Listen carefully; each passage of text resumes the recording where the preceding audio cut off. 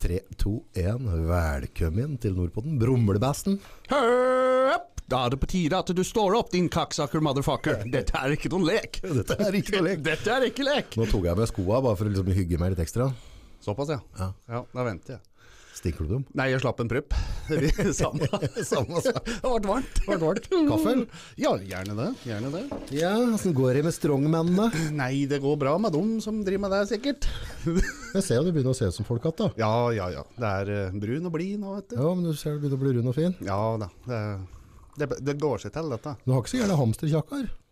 Nei, Jeg prøvde å være litt sånn, uh, sånn bevisst på deg i år, da. Så jeg, så jeg spiser pizza, burger og donuts tre ganger om dagen. Da. Nei, for det er liksom Det er sunnhetstegn. Liksom, litt sånn spredt rumpe, god rund i skuldra, og så det sånn kjakkar. Ja, og skikkelig blodår der nedenunder òg, på morgenen. Der nedenunder. Ja. Helt annet morrabrød, for å si det rett ut. Er det, funker det bra nå? Ja, gjør det. Bra morrabrød? Bra nå. Ja. Ja, ja. Hva, sånn, får du pissa og sånn, eller er det trøbbel? Nei, bare gå i dusjen. Jeg orker ikke å drive og stå på hendene og sånn. Det, er- åh, det er så slitsomt. Du er så stiv om morgenen, vet du, så bare gå i dusjen, og så Dette er jo helt frakt. Hvis en får skikkelig sånn morgensprø, og så er det ordentlig pisstreng. Ja. Og så kan du ikke bryte ned, da, for da kutter du tilførselen. Da får du ikke pissa. Nei. Det Så ikke. det letteste er bare å gå i dusjen. Ja, Men- ferdig med det. Ja. det. Det blir jo mindre og mindre problematisk eh, jo eldre han blir, dette der. Dette er jo Ja. naturens gang. Det er jo sånn, når du, når du har unger, da. Det er litt mer slitsomt med morgensbrød. ja, det kan jeg tenke meg. Ja, for det er jo sånne ting du ikke gidder å dele. Nei. Nei, Det, den er jeg. ja, det, det kan være Altså en, er, det en, eh, er det et problem, eller er det en utfordring? Så, Å. Hva tenker dere, folkens?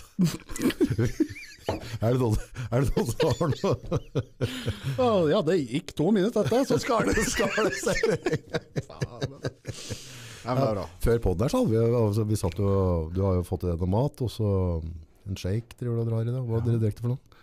Dette her er eh, L-arginin, glutamin og BCA. Og vann. Ja, ja. Levert av, Kost 1. Så klart. Vi driter med noe annet. Sånn der anna fysj. så bare, hvis det er tvil om det, så er det, dette er snikreklame. Ja, jeg sniker ikke, jeg bare går rett inn. jeg. Ja, men du, du er ganske klar på det at kost 1 er brukbare greier? Ja, jeg har vært der fra dag én, de. Når ikke de andre, uten å nevne navn, Ja, men mange er det- andre i Norge ikke ville, så var de der. Men, eh, men eh, produktet, altså er det bare for at du får det gratis, eller mener du at det er oppriktig et Det er- bra produkt? Skal være helt ærlig, så er det ikke noe som er bedre enn noe annet. Det er ganske likt i Norge, for du har jo regler på hvor mye du kan putte i ting og tang og sånne ting. Um, så stort sett, så det det kommer på er uh, leveransetida fra fort du får det, Mm. Eh, og eventuelt kundeservice hvis det skulle være et eller annet feil og sånn. Og det har jeg ikke hørt åssen det er kost 1 har vært og sånn, for den saks skyld, men uh, Men hvem som eier kost 1, så er det vet du folk? ja, Ja. veldig. Jeg er fra Stavanger, de guttene der. Ja, så det er ikke grautur liksom, som Nei. er kjede å ha med å gjøre, de er fine. Jævlig fine å ha med å gjøre, og ta ikke en spa for en spa, liksom. Ja. Om du eh, har kjent dem i 20 år, eller noen har kjent dem i 5 minutter. Spille, du stiller lik, liksom. Ja. Og det er det ikke mange som gjør. Nei. Så nei, det er bra. Og de har starta helt fra bånn, liksom, og bygd seg opp Ja. over lang tid. Og det er litt moro, for nå har de jo i Stavanger og sånn, så har de en skikkelig i Bikuba, heter det, vet du, på senteret i, i Stavanger der. Ja. Og der er det, den butikken er vel, ja, om det ikke er Norges største kosttilskuddsbutikk, det vet jeg ikke, men den er i hvert fall jævlig svær. Skikkelig på. Ja, skikkelig. Så, og så er det så organisert når du kommer inn der. Liksom, det står sett dem av, de, det, det går nesten i høyde på boksen liksom oppover det. Sånn kreatin, vitaminer, mineraler, karbohydrater. Og, nei. Det er en sånn ordentlig guttesjapp å gå inn. Og damer, da, så klart. Uten å skille ut noen. Ja. ja, for du er litt opptatt av det, du. Ja, ja. Du er litt politisk korrekt. ja. jeg, jeg, prøv, jeg må jo prøve, da. Ja. Så, ja, nei, ja.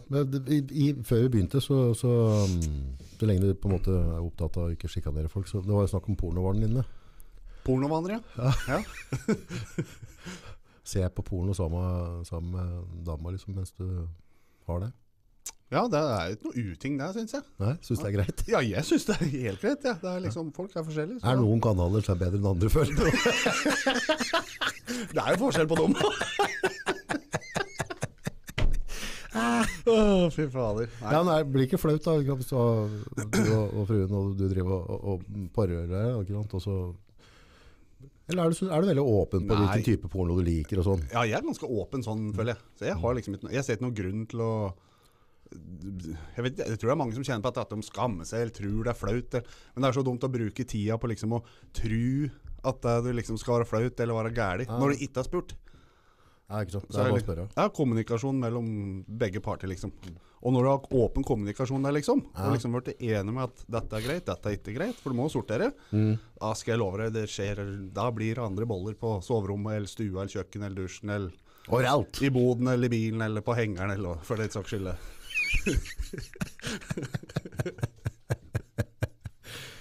Ja, dette er eh, Dette her går, går fort. Ja, jeg, jeg syns det går, det går hver gang for meg, da. Det Ja, det, det- er fair enough. oh. Har du um, Har liksom pornovanene dine forandra seg gjennom åra, eller? Nei, jeg vet ikke. Ser du liksom på samme liksom der, Dette er liksom den greia. Eh, Husker du før, når du hadde VHS?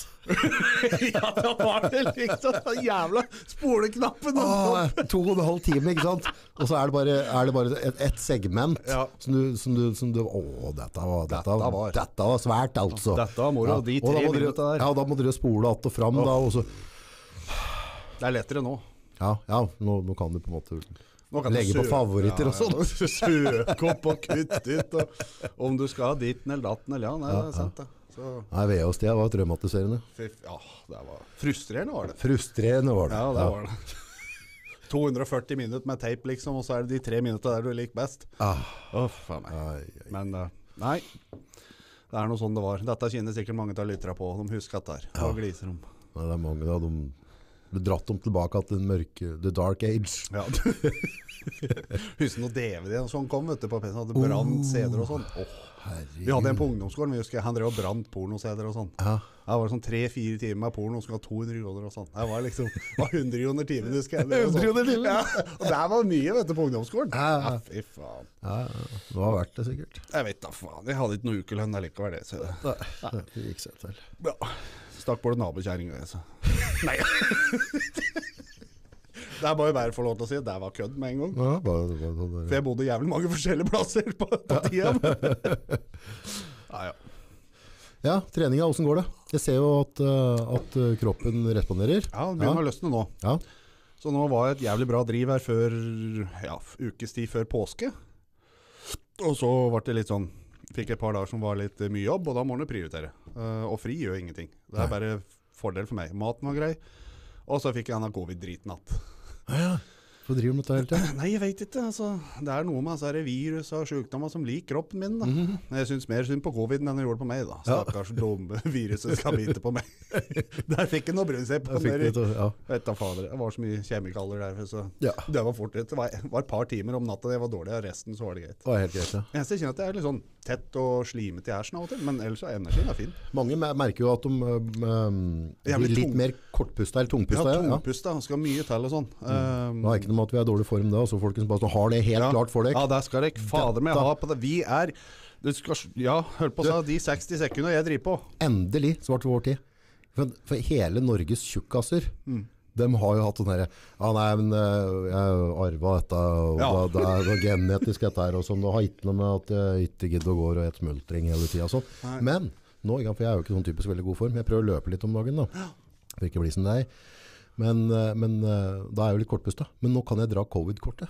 Ja, kan du gjøre det. Evig alltid. Ja. Ja, jeg, Ja, coviden sitter igjen ennå. høsten 21. Uh, da fikk jeg en sitt det. Men før det, da, da kunne jeg flyge. Altså. Da var jeg i form, altså. Da var jeg form. Jeg Da fløy for- var jeg form. Fløy forbi Mike Tyson fire ganger i baklengs uten at han la merke til det. liksom. Ja, det fikk- en gang. Nei, nei. Han Det- hadde medvind, og jeg hadde motvind i tillegg. ja, Ja. på samme ja, nei. Og så kom coviden, da. Så nå går jeg opp ei tropp og puster som faen. Ja. Nei, jeg skal bruke den. ja, dette er bare å bruke. Ja, ja. Nei, men jeg har vært heldig sånn, så jeg kan ikke skylde på det. For det Taper du ikke kommer på pallen i år, bare dra covid-kortet. Har du tatt noen bilder der du så sjuk ut, så du kan vise, liksom, så du kan dokumentere det? Nei, jeg bare tar en Hva heter det? Tar en selfie nå, jeg så skjønner jo med det at det er noe gærent.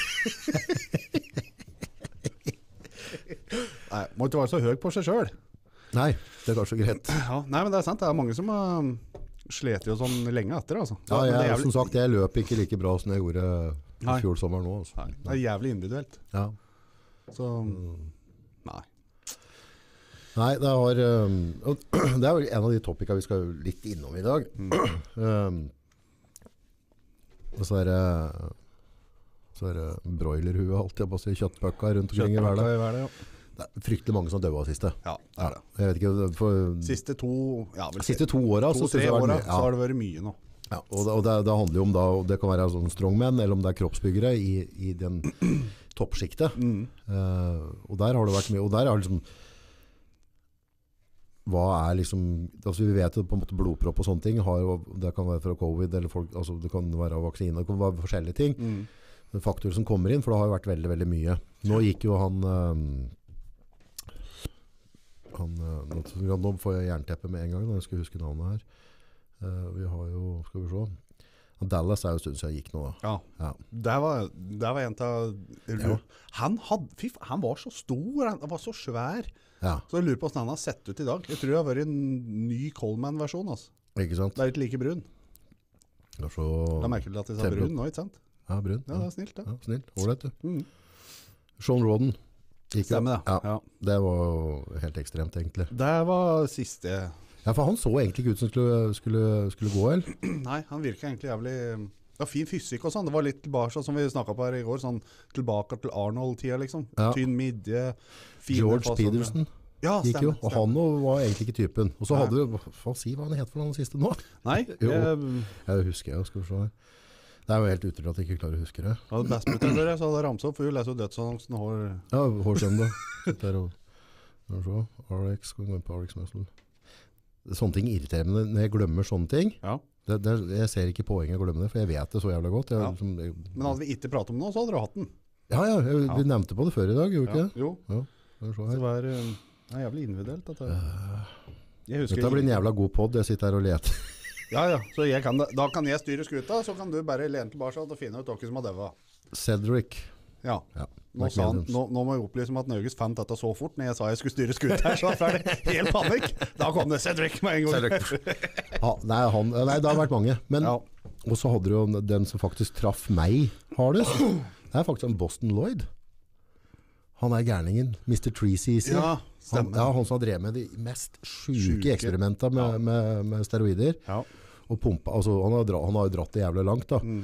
Og så tror jeg han brukte noen SARMs, og så fikk han uh, nyresvikt ja, stemmer det. pga. det. Uh, ja, så, så han var på en måte Men jeg tror ikke han tok veldig hensyn der. Men det tror jeg uh, adop, eller autopsien der, at det var uh, at en av de hovedblodårene sprakk. Mm. Så han blødde i hjel inni. Da har du bra trykk, altså. Et eller annet. Ja, uh, noen, noen, noen prater på Det er sikkert genetisk. Bare, Ja. ja. gutten er 29 og har, eh, er eh, Levebrødet hans er å være Ginny pig. Ja, så jeg tror egentlig ikke at eh, Men det er min mening, da. Da får vi understreke Vi må være litt sånn, da. Vi får understreke at det er våre meninger her. Ja. Det er ikke noe fasit. Nei, men Boston Lloyd da, det, han var jo på en måte elska og hata. På, men, men det jeg likte med han, jeg syns han var enormt underholdende, veldig oppegående. Så sjøl om det han drev med var klin kokos, Ja. så hadde han jævla mye kunnskap, og så var han veldig underholdende og gliste mye. Og Det var en artig skrue. Altså, det var en sånn fargeklatt i det derre eh, kroppsbygger- og strongman-showet. For det er jo et eget på en måte community på YouTube på dette der. ja, det er det. Ja, ja. Ganske stort. Det har blitt veldig stort nå. Så det er, um, det er mange som lever dette. her. Gjør ingenting, bare sitt og Ser du på han der Nick Power and Strength? Nei, jeg har ikke sett på den, da. Nei, og det er veldig sånn korte. Men han kommer bare egentlig med sånne raske oppdateringer om hva som skjer. Ja. Han er jævla god på liksom, å gi- oppdatere alt. Da. Ja. Det hennes jeg ser på poden at han eh, MMA-sjefen holdt på seg. Ja, Joe Rogan. Ja, Ja. Det hender jeg. Og der er det sånn Noen ganger så er jeg så heldig så jeg slår midt inn i når det er et eller annet som driver narr av folk. Eller et eller annet. Ah, er så- Nei, det er mye, det er mye bra, altså. Men, og ser du på Alex Mossel, da? Nei, RX Mossel, ja. Nei, Dave det. Uh, der, Jeg har hørt om det, men jeg har ikke ja, sett han. Nei, der, er, der er det jo Alle de atletene har jo stort sett vært i podder med han. Mm. Sånn type intervjuer og ditt og datt. Og masse, masse masse informasjon. Mm. Eh, og så har de en sånn after hour der han uh, Greg uh, Valentino, han er, med Ja. største han er med på noe greier. Og så er Lee Priest er med mye der. Ja, Han er ganske frittalende. ja, han var ganske han, Ja, de to blir jo nesten altså, Rich Piano gikk jo bort òg. Ja, litt ja. tilbake at Han òg syns jeg var Folk kan si han vil, men han var han var, he, var hel ved, kan du si. da For sånn som vi sier på Edmark, Ja. Der var han ærlig fra dag én. Blant sånn og sånn og sånn. Men han sa alltid at det er ikke bra. Du burde ikke gjøre det. Sånn gjør jeg det. Og liksom Ja, han, han Rick og Til og med en gang jeg begynte å følge han Rick der, så, så, øh, Jeg likte den for så vidt ikke med en gang, og så, og så ventet jeg meg litt til den. Men, eh, men det altså han, han så ut som en freak, Mm. eh, og det viser seg nå i etterkant så viser det seg at mest sannsynlig så har han fylt sånn flytende silikon inn i, inn i musklene sine. Mm. Men, eh, men eh, for en showman, og, og hvem andre Altså, han tjente jo mer penger enn de største atletene, selv om ikke han var med og konkurrerte Mm. engang. Så måten han håndterte YouTuben på, måten topics Altså, han starta jo trender hele tida, også på sånne expos. Eh, På sånn uh, Olympia, eller om det var på, på Arnold Clay. Ja, sånn, ja. så hadde jo han lengst kø. Mm. Altså, du, du kunne ha Phil Heath som sto der, han var liksom Mr. Olympia sju eller åtte år på rad. Han hadde mindre kø Ja. enn han der eh, tatoverte typa som Mm. bare Det som er så moro med sånne, ja, det, det som er så moro med sånne, at folk, når han gjør dette på YouTube, da, før en sånn show, da, for eksempel, så har han liksom Da sitter det flere tusen og kommenterer 'Å, for en dust, jævla Coop', og bla, bla, bla. Men de som nettrolla som sier dette, de er faen meg de første i køa! det er liksom Men jeg, tror- jeg tror det er litt av greia òg, for hvis du klarer å si og gjøre ting som gjør at folk kaller deg dust, Ja. så får du litt sånn traction, for da begynner Ja. andre å lage filmer om deg og ditt og datt. Ja? Han kjørte rundt i rosa Bentley, Ja. liksom. altså, han- ja, men han drev jo med så jævla mye dritt. Men det var jo der han tjente på, da. Ja. Og folk begynte jo å abonnere og sa 'hva faen er den tullingen der?' Var den Mye var da, skal, jeg tror den skal se, han hadde jævlig mye følgere. han var 700 000 på YouTube eller noe, Ja. kan det stemme? Altså, det var, det Og var, på YouTube er jeg ikke sikker på mye hadde, men, men da begynner han å tjene litt, da. Han ja. Ja. Jeg tror han tjente millioner liksom i året. Hmm.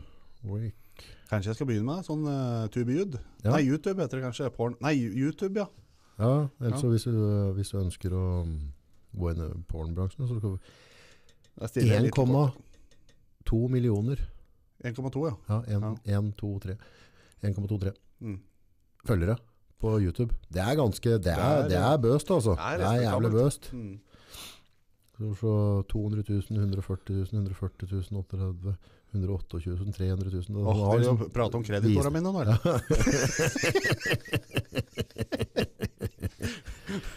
Det- Nei, nei han, han, han var jævla entertainment.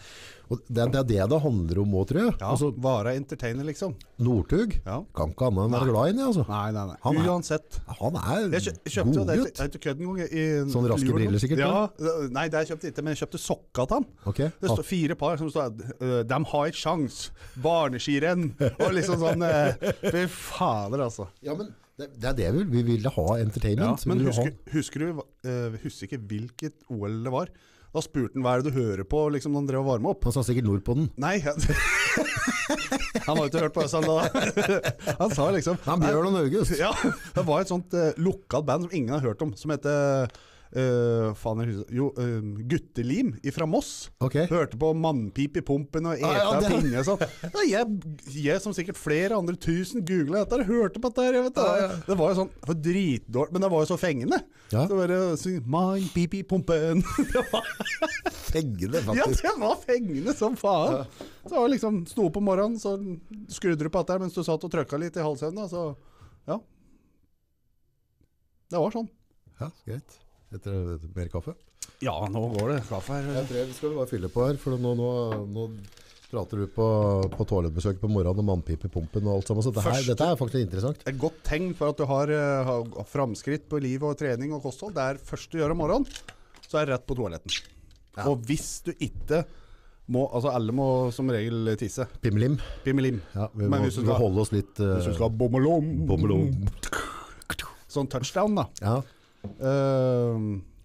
da bør du liksom det jeg gjør om morgenen, da, hvis jeg kjenner at jeg ikke må, så går jeg først på do, Mm. og så tar jeg en sånn shaker som jeg har her. ja, Uh, fyller med 7 dl med vann, ja. og så har du en uh, halv uh, lime. Mm. Skvise safta oppi der. ja, 10 gram av glutamin. ja. Jeg klyper med havsalt. Sånn. Ja, ja nei, sånn eh, over Over biceps, sånn. Ja, ja. Jeg, jeg tror det er noe sånn de gjør, disse her Ja, ja. salthomsen. ja. Eh, og så en kork med eplesidereddik. Eplesidereddik. Ja, Røre dette rundt, Ja. og så styrter du rett ned med en halv kopp kaffe. Hvis du da i løpet av et kvarter, 20 minutter, ikke kjenner at det buldrer i magen da, Ja. Du trykker på O-ringen. ja, da, da blir det sånn, det blir så mye tarmbakterier, den jobber noe så jævlig, vet du. Så det blir, eh, skal sammenligne det med, det blir som å fylle flybensin på Toyota Yarisen da. Ja, ja, ja. Det, det skjer litt før det smeller. Det skjer litt før det smeller. Så det er et nyttig tips. Er det sånn at du, at du, at du prøver å følge med på avføringa di, liksom, Ja. shape og sånne ting? Gjør faktisk det. At den ikke er for løs, og at den ikke er grønn. Grønn avføring? Ja, for Da kan den være løs, og så kan den være grønn. Da liksom kan, Grønn da kan være mye forskjellig. Men da for mye salat, sikkert.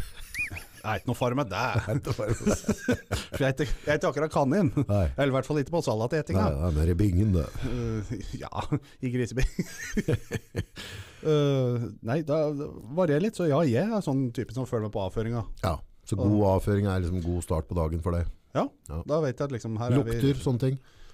Ja, Det er aldri blitt meg om folk sier at 'å, vent til du får unge' og sånn. Det lufter helt jævlig. Jeg merker ikke noe. Nei, nei. Nei, jeg noe, noe. Hvis du hadde bedt om hjelp nå til å tørke deg, hadde jeg ikke blunka engang. nei. Jeg bryr meg ikke om sånn dritluft eller noe sånn prupp eller noe sånn. Aldri brydd meg om sånn. Tror jeg er noen som fikk noe Bilder i huet. Ja, så at du hjelper med Men, da, ja, men du, sitter, du er i ganske fin form nå, har begynt å jogge og sånn, så det er fint. Det, jeg sa det bare fordi at jeg vet at du klarer å tørke ræva sjøl. Jeg trodde du mente at jeg var liksom At så lenge jeg var fast i fisken, så var det greit for deg. Hvis jeg er småblupp, så hadde du ikke gjort det, liksom. Nei, jeg er ikke sånn Hva er det det heter? Fatshamer. shamer Ja, det er det. Men jeg driter meg i sånn shaming. Du gjør ikke det? Nei. Shame og shame. Nei, det er, jeg har mer enn nok med meg for min egen dør. det er nok der, altså. Det er gærent nok. Ja, Døde folk var det egentlig vi drev og rota litt med, da. ja det var det. Ja. Og tilbake der, da. Ja. På kirkegården. Der er det mye folk og lite liv. ja. Mye folk. Rei, rei. dette, Dette blir jo veldig seriøst, da. Ja, nei, men vi var tilbake på at ja, det er mange av toppidretts... Jeg kaller det toppidrettsutøvere i bygging og strongman og styrkeløftsporten generelt. da. Jeg kaller det boler, ja. Ja, men nå er vi på shaming igjen, da, vet du. Ja, ja. det. ja det er litt ålreit. Jeg p- prøver. Så lenge det går. Nei, men det, det vi, prata litt på telefonen her, og, og du banka det på, eller? Det var du som driver på. Det er jeg som driver på. Um, det er jo en At hvis vi går 20 år tilbake igjen, da Mm. Så de strongman-utøvere og, og kroppsbyggere Mm. de var, altså, de var ekstreme, de var vanvittig eh, fysiker det òg. Mm. Men kanskje de siste 10-20 åra så har det liksom blitt flytta et lite hakk lenger opp. Ja. Og spørsmålet er jo da hvor mye koster det? For én ting er på en måte å maksimalisere en kropp Mm. opp til det ekstreme. Men å dra det ett hakk, altså de siste 10 da, ja. hvor mye mat, hvor mye steroider, eh, altså hvor ekstremt blir det? Så kanskje det er liksom det, det siste 10 av den siste liksom eh, oksenakken, Ja. siste størrelsen på tricepsen, at den koster så jævlig mye at det rett og slett tar livet av dem. Det kan være det. Jeg, jeg tror egentlig at, du er, at uh, det er inne på noe der. Men samtidig så er det de siste 10% så er det ingen som vet 100% Og det er derfor mange tør å gå på de 10 òg. Og det kan for godt skjelde, hvis du har hatt 10% så er så mange som satser. Og så kan det i realiteten vise seg at de økte bare 2-3% men det var nok til at det skulle smelle. Ja. Ellers er det noen som er dritheldig. Mm. Det er jo en grevling av en milliard da, som tåler dette her. Og Ja. den ene grevlingen da, er det da mange som ser opp til. Ikke de da andre som har skadet seg, bivirkninger eller døva. Ja, ikke sant? For det er sånn, nei, men det er bra med han. Han var sikkert slåsket, han som ligger i torva der. Ja. Ja. Så, Han Mountain Dog, husker du han? En litt eh, sånn lyst rødhåra en, um, Skal finne bildet. bilde Han, han døde i høst. Det var også en jævla kul sånn derre uh, YouTube-profil. Oh, ja. Uh, du vet hvem det er. Ja, det kan jeg, jeg vet det. er Jeg, er så dårlig, jeg er så dårlig på navn, vet du. Jeg, jeg husker ikke navnet på alle familien mine, eller hvis jeg ikke ser på fotografi. Men det er noe Han der. Han og drev med mye undervisning, men levde og hadde unger og levde et i utgangspunktet sunt liv. Og jeg tror han brukte liksom 10-15 år for å kunne bli proff. Mm. eh, proffutøper, men han også stupte.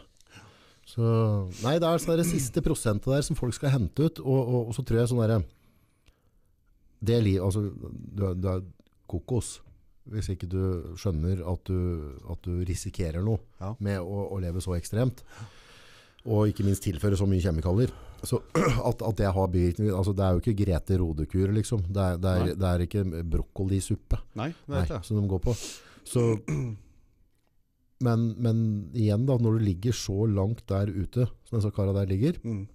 så har du bare en liten genetisk tilbøyelighet for et eller annet, Jo. så tror jeg du blir straffa på det. Jeg tror det, men du, du får ikke noe Når du er oppi der, så tror jeg du kan tøye den litt og litt og litt, men du får nesten ikke noe ordentlig forvarsel. Da kan hende du blir sånn småtrøtt, kje eller et eller annet som det har vært tusen ganger før, og så tar du ikke hensyn til det.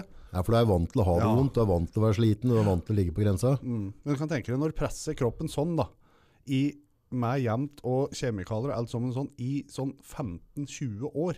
Ja. Det er klart at må være så ærlig at kroppen er ikke laga for dette her, vet du. Nei, nei, nei. Det, det blir jo som å Ja, blir jo som, som vi snakka på, moltrimme en original bil sant, til det ypperste, Ja. og ha full gass hele tida. Ja. Alle vet jo at det, det, det går en viss stund. Og så Ja, for det, det jeg tror sånn uavhengig av, av hva de bruker da, av, av stoffer, så må vi være klar over, tror jeg da, sånn så tror jeg at, at uh, fordøyelsessystemet mitt har en preset på hvor mye mat det er beregnet for å gå gjennom det systemet, Ja. gjennom livstida mi. Uh, samme om du går på ski, altså hvor, hvor, uh, hvor høy puls kan du ligge på hele tida? Mm. Og så ligger du på høy puls åtte, ja, åtte timer om dagen med høy puls i 10-20 år. Mm. Så bruker du opp hjertet litt, tror jeg. Det, ja, jeg tror det. Det blir jo det samme som ryggen. Han Ja. uh, som fiksa ryggen min når jeg hadde prolaps, og fikk beskjed til to andre at eh, nei, du er ferdig. Ja, så var jo han liksom i var tre omganger, og så vant de NM tre måneder etterpå. jeg på det. Ottestad, eller? Ja, Ja, Natle. øh, ja Atle. Ja, Ja. Kiropraktikk. Ja. Jeg bruker ikke noe, ser ikke på noe eller noe annet. Eller, Nei, nei, nei, det er kun der jeg går når det er noe. Ja. Før og ja. Han har gjort mye av disse idrettsutøverne. Altså. ja, men han vet hva han driver med. Vet du. Det, sånn, han, det var så komisk, for jeg var at jeg han er så jævlig interessert i han driver med. ja, ja, og så spør han, vet du. Og sånne ting, liksom. Og så, så han drog bare opp til Jeg spurte hva du hadde gjort. Nei, jeg, jeg løfta litt markløft og løfta litt tungt og sånn i siste. liksom. Å ja, snu det rundt. Så han tenkte å, nå skal han knekke med, eller sånn, Ja. sånn som de andre drev med. Så bare løfter han opp T-skjorta, bare å, å, det er denne, ja. Sant? Så bare å, gjør det sånn og sånn, steller inn mot veggen, og så kjører du hofta inni. Jeg fikk da faen til hofta inni, jeg bare skreik, det var så vondt. Ja. Nå står du her på dette rommet mens jeg tar neste kunde, sånn, og når du har kjørt ti stykker, så kommer du og henter meg. sånn. Mm. Da gikk det jeg tror var 40 minutter, tre kvarter, når han satt til lunsj. Da hadde jeg fått inni liksom første. Yes. Og så bare, du, nå har jeg fått inni. Ja, har du kjørt ti, sa han. Nei, jeg fikk ikke det. Ja, men da har du hatt ni til, sa han. Ja. Ja, det var liksom, nei, det var der en time, tror jeg. Ja. Sånn, dette gjør du etter hver gang du har 70 nede, eller søvet, gjør det annenhver time, helt til smerten er over sånn. Ja. Og tre måneder etterpå så vant jeg NM. Tøft. Ja, ja. Så han vet, og har han ryggproblemer eller skulder eller noen plager generelt på kroppen, så er det bare, det er kiropraktikk på Ottestad som gjelder der, altså. Men, men uh, dette kommer sånn, det er med leger og alt sammen, at vi, Mm. vi er jo dårlige på å følge. Altså, vi, vi går jo ikke og spør om hjelp før det er helt håpløst, egentlig. At vi har en, og det, der tror jeg vi alle har mye å gå på. Altså, hvis du går og kjenner at det har litt vondt i ryggen, eller ditt eller datt, så er det bedre å ta det før det Ja, men spesielt hvis du driver med en sånn sport. da. For eksempel hvis det er en gardbruker eller et eller annet som kjenner at ah, nå har jeg jobba mye i fjøset, nå er jeg litt skei. Mm. De er jo liksom sånn ja, dette går over, for dette er vi som vant med. Mm. Men så er det vi som driver med sånne ting, da, som løfter sånne ting som er tungt. Mm. Hvis du da kjenner liksom at det er, dette er litt annerledes enn jeg har vært før, Ja. da er det jævlig lurt å bare enten ta fri og bare oppsøke en sånn en, så si at sånn og sånn er det. Før det skjer noe. For når det smeller, da er det egentlig da er det for seint. Men jeg tror det er lurt å gjøre for dem som går i fjøs òg. Ja, men det er folk gjør ikke dette. Nei, nei, nei. nei for jeg, mer- jeg har jo vært plaga med ryggen tidligere, når jeg drev og løfta litt. Ikke har hatt det eh, etter jeg på en måte slutta å belaste kroppen. Nei. Eh, men nå har jeg merka nå siste året at hvis jeg sitter og kjører bil, Ja, litt ettersom hvilken bil jeg kjører Ja. eh, Den jeg har, den er ganske tilgivelig, men hvis jeg bruker eh, en annen sete, kan det gå bare to-tre timer. Så kjenner jeg liksom uh, sånn, da. i kneet, Ja. og så på baksida av låret, og mm. altså, ak- akkurat som sånn er nervesen er i pinch. Da. Og så får jeg gått litt rørt litt på meg, så går det over. Ja. Og da tenker jo ikke jeg noe mer på det, da, ikke sant? Ikke før neste gang jeg skal ned til Drammen og filme et eller annet, eller Så, så der, ja. Det er jævlig undervurdert sånn. Ta det med en gang, liksom. For folk er jo så jævlig flinke til å gjøre sånn når det gjelder jobb eller uh, regninger eller uh, bilen eller noe sånt. Ta det før det skjer. Var det regninger du sa? Jeg tenkte jeg skulle prøve liksom å inkludere alle, da. Så datt jeg ut sjøl! Å, faen. Nei, ja. Nei, det har bare vært litt uheldig. ja. Uheldig, uheldig. Det er vel sin egen dumhet det går i. Ja. Det er det som er så behagelig med det. Nei, men sånne, sånne forretningskonkurser og sånne ting, det, det hele starter med at man har en drøm og en visjon, og så ønsker han å få til et eller annet. Mm. Og så, og så, så er det ikke, det er ikke så lett, alltid. Nei, det. og innimellom så, så stikker han huet i sanda, så jobber han på, jobber på, jobber på, og så regner man at neste måned bare kommer litt overpå, kommer litt overpå. Mm. til slutt så står du der da. Ja, gjør det. Så det er fort gjort. Ja, fy faen. Så det er liksom bare å Det hjelper ikke å grave seg ned heller og bare si at nei, nå, nå er livet Det er enten bare å å reise opp igjen, for det er ingen andre som får fiksa det for deg, liksom. Nei, og så er de sifer, da, så er det glupinga. Og så hvis du driter deg ut, da, så er du jævlig heldig, for da fikk du muligheten til å prøve dette en gang til. Ja, ja, jo, det er sant, det. Ja, da, du lærer jo noe av Ja, det ja. hver gang. Da. Så jeg driver på igjen nå, jeg. Ja, kjører på. Ja, ja, men nå går det Du gjør ting etter boka nå, så, så går det mye bedre. Det er mye lettere. Ja, fy faen. Og så er det behagelig, gitt. Søv bedre og jobbe lettere og Nei. Hva er jobber du mest med nå? Nå er det kun varmepumper og vinduer og dører. Altså, det er jo snekkeroppdrag. Er Ja, men montering, du setter ikke opp Ja. nye hus, liksom, men du kan bytte ut en verandadør for ja, meg, eller og vinduer og skifte panel og eventuelt sånne ting. ja. Så, så er mer enn nok. Prøv ikke, ikke gjøre det for komplisert, liksom. Ja, Altså, gjør det, gjør det jævlig enkelt. Mm. Så Er ikke det greit, da? Jo. Enklere å prise òg. Ja, for da, da vet du liksom jeg- Det er ikke så mye løse Jeg har jo noe fastpris, så klart, men helst så syns jeg det er jævlig greit med time. Ja. Og når folk tenker time, hvor mye tar du i timen? Nei, altså 590 pluss moms, da er det fortsatt under noen av snekkere og noen over. Så dette Ja. varierer alltid. Ja, 590 er ikke noe snakk om. Ah, fy faen, og da blir det mange timer her. Så bare, ja, men hvis du skal ha en fastpris da på bytte til vindu, så tar jeg ikke for en hel dag, for jeg skal kjøre og hente vindu, jeg skal listre ut. ja. Da tar jeg ikke en dag. Hadde du tatt det på timer, så hadde du gjort det på tre og en halv, kanskje fire timer med matpause. liksom, da sitter de der, da. Ja, men du brukte ikke så lang tid. Så bare sånn, nei, men kyss med rævlet. du fikk valget. Apropos kyss med rævhølet. Ja. Kan du- Det har jeg lyst til å snakke om. Ja. Uh, anuset ditt. Ja. ja, ja. Da har vi et stort samtaleemne her. Ja. Hva, hva har skjedd med anuset ditt? Nei, eh, hva som har skjedd og skjedd, det er vel jeg Fiffar opp litt, da. Fiffa opp. Åssen fiffer opp et anus? Nei, du kan jo først gjøre det der å vaske det godt. Ja. Ja. Og så kan jeg barbere det litt, så jeg slipper å se ut som en sånn urskog nedi der. Jeg liker du å barbere rumpa? Eh, Nei, altså, ikke for mye. For hvis Nei. det blir helt glattbarbert, da blir du så klam og svett. Ja, ja det Du er en kjenner sånn at det renner Det er ikke avlig som å være litt, så bruker jeg maskin eller et eller annet. Ja, men du skal ikke være dangelbærer, liksom. Så Nei, da, da man må det er holde så det litt trimma. liksom drive og henge fast i håret. Altså. Det har ikke vært så ille for meg, da, men altså, ja. Ja, ja. sånne ting. Og så fiffer opp, og så kan du Ja, du kan jo Det er så mye fine midler nå. Du får jo Han kan kremer. bleke det. Du kan bleke det, kan du gjøre. Ja. Ja, ja. Og det har du gjort. Yes. Gjort og gjort. Jeg har prøvd. Jeg har prøvd. Åssen funker det? Åssen er prosessen? Alt Det nå? er, det er bare krem. Det er bare å ha på, og så vente, og så Får du hjelp til å ha på krem? Har du speil, og så og skvotter du over et Nei, speil? jeg bare brukte fintfølende fingre. Fintfølende fingre. Ja. Ja. Snekkerfingra dine. Ja, jeg har skrudd så mye i bilen og sånne trange høl og sånn, vet du. Får akkurat mutter'n til å Skal du litt inni, eller er det kun Nei, på utsida? kun på utsida. På utsida. Ja, ja. Er det noen slags klor, dette, eller?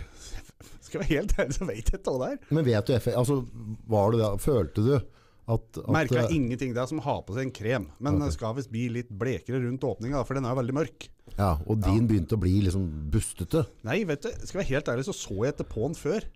Nei, men nå vet- følger du med? Nei, nå, jeg så på den etterpå, Ja. og da var det sånn Ja, det var litt lysere. Da ja, kunne sikkert gjort bedre arbeid, da, men eh, det var bare Tenkte jeg, så har jeg gjort det. Ja. Orker slipper liksom å lure på dette var, hvorfor han ikke har gjort dette her.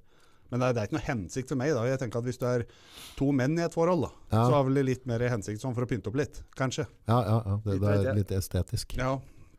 Vi som har pyntet litt i blomsterbedet. Ja. Men uh, lenge måtte det blekings... Altså, lå du, lå Nei, du bare- bøyd over en pute med rumpa i lufta? Liksom, Åssen gjorde du det? der? Nei, bare vaska barberte, og så hadde jeg på krem, og så bare venta jeg litt. og så Ja, men Satt du naken og venta? Nei, jeg liksom? gikk rundt. Jeg lagde meg mat alt sånt. Naken? Ja, ja. Ja, ja, ja. Jeg flyr ofte naken når jeg lager mat. jeg. Ja. Jeg får ikke så mye besøk. Nei. Merkelig. Nei, ja. Men, eh, men åssen gjør du dette nå? Altså, eh, tar du, Da blir jeg borte etter hvert allikevel. tar du rumpeselfier, eller åssen? Nei, jeg har ikke gjort det. Jeg bare tok et speil, Speil, ja. Ok. og så bare satte skrav jeg over, og så så jeg, og så Ja. Så jeg skjønner liksom ikke hva som er så jævla føss med at det, Men ble det liksom lik farge som huden ellers, eller? Altså, det, er, vart- der det er veldig mørkt. Ja. Der blir det mye lysere. Så du ser at det er litt lysere sånn Ja, det er kanskje veldig sånn rosa, da. Ja. Ja, så det ser, Ser litt appetittlig ut. det ser nesten ut som rumpa på en katt. Der, ja. For den er jo lyserosa. Ja, ja, ja. Så Nei, det var egentlig ikke noe sånn Wow, jeg trodde den kanskje skulle bli skikkelig bleik eller måne eller som Ja. en Ja, men det Så sånn albinoøye som kikka på ja, deg. så, så skikkelig Hallo, motherfucker! Jo, motherfucker! Hallo! Kan du dra skinka ut og en som prata? som prater? Sånn gjør man du. Ja. Var det ikke det Ace Ventura? I gonna ask you a question. Ja, stemmer. Det gikk ut av ræva på den neso... Nei, eh, jo, Ja, ja, det, det var egentlig en knakende artig film. Ja, det var bra, den. Ja. Den var eh, Faen, det var Pet Detective eller noe sånt. Ja, ja, ja. Nå var han i Afrika. Ja, ja, ja, ja. Ja, fy fader. I'm gonna ask you a question. Ja. Eh, Nei, ja, så det er liksom Da har han prøvd. Ja, Det det, det ble ikke sårt og sånn. Nei, nei, nei. Merker ingenting. Merker ingenting. Så Hva er det du ønsker å oppnå med det? egentlig ingenting. Det var Nei. bare for å av og til få et sånt innfall. Ja. Så liksom plutselig så nei, det kan være, Ja, nå var det sånn, da. Eller så plutselig så kan jeg få, beskjed, eller få sånn innfall. Nei, du, det er mange år siden jeg hoppa fra Mjøsbra. Ja. Så ha på skoa, gå på der og hoppe. ja. Du er for tjukk til å hoppe fra Mjøsbrua. Nei, nå ikke kjem- tjukk, da, du er nå, rek- nå blir jeg ikke så redd, for nå, går, nå er jeg så tjukk i ræva, så nå går det så fort ned, så jeg rekker ikke å bli redd. Jeg Plopp, sier det. Plopp. Ja, så vidt det kommer utover. Det ser ut som en sånn flytebøyder. Nei, ja. Nei, så er det er liksom Det er viktig å Enkelt og greit, da du lever bare én gang, så er det sånne småting som er litt nysgjerrig på, så ikke gjør noe skade, tenker jeg. Det er bare å Hvor får du kjøpt uh, ass-bleaching? Nei, på nettet. På nett? Så du bestilte på det? Så det var sånn du bestilte det på nett? Det var Ja, jeg bestilte det, også, eller jeg fikk, da. Jeg fikk pakke. Oh, ja. Da, så, så care, care kit? Nei, det var Hva den, og så var det kondomer med smak. Og så var det kondomer med en sånn en spesiell krem som skulle gjøre at uh, altså, mm, tissen dovner ikke ut, da, men det blir veldig følsom. Og så Ok. du kan drive på lenger. Og så er det krem både inne og utapå kondomen, så det skal være bra for eh, motparten òg, da. Mm. La merke til motparten òg. Så jeg liksom inkluderer alle, begge kjønn her. Og så var det en sånn eh, krem som skulle gjøre at, mest, at du får mer blodomløp i God gamle Viagraen, liksom? mot- Ja, motparten og meg, da. Ja, ja, ja.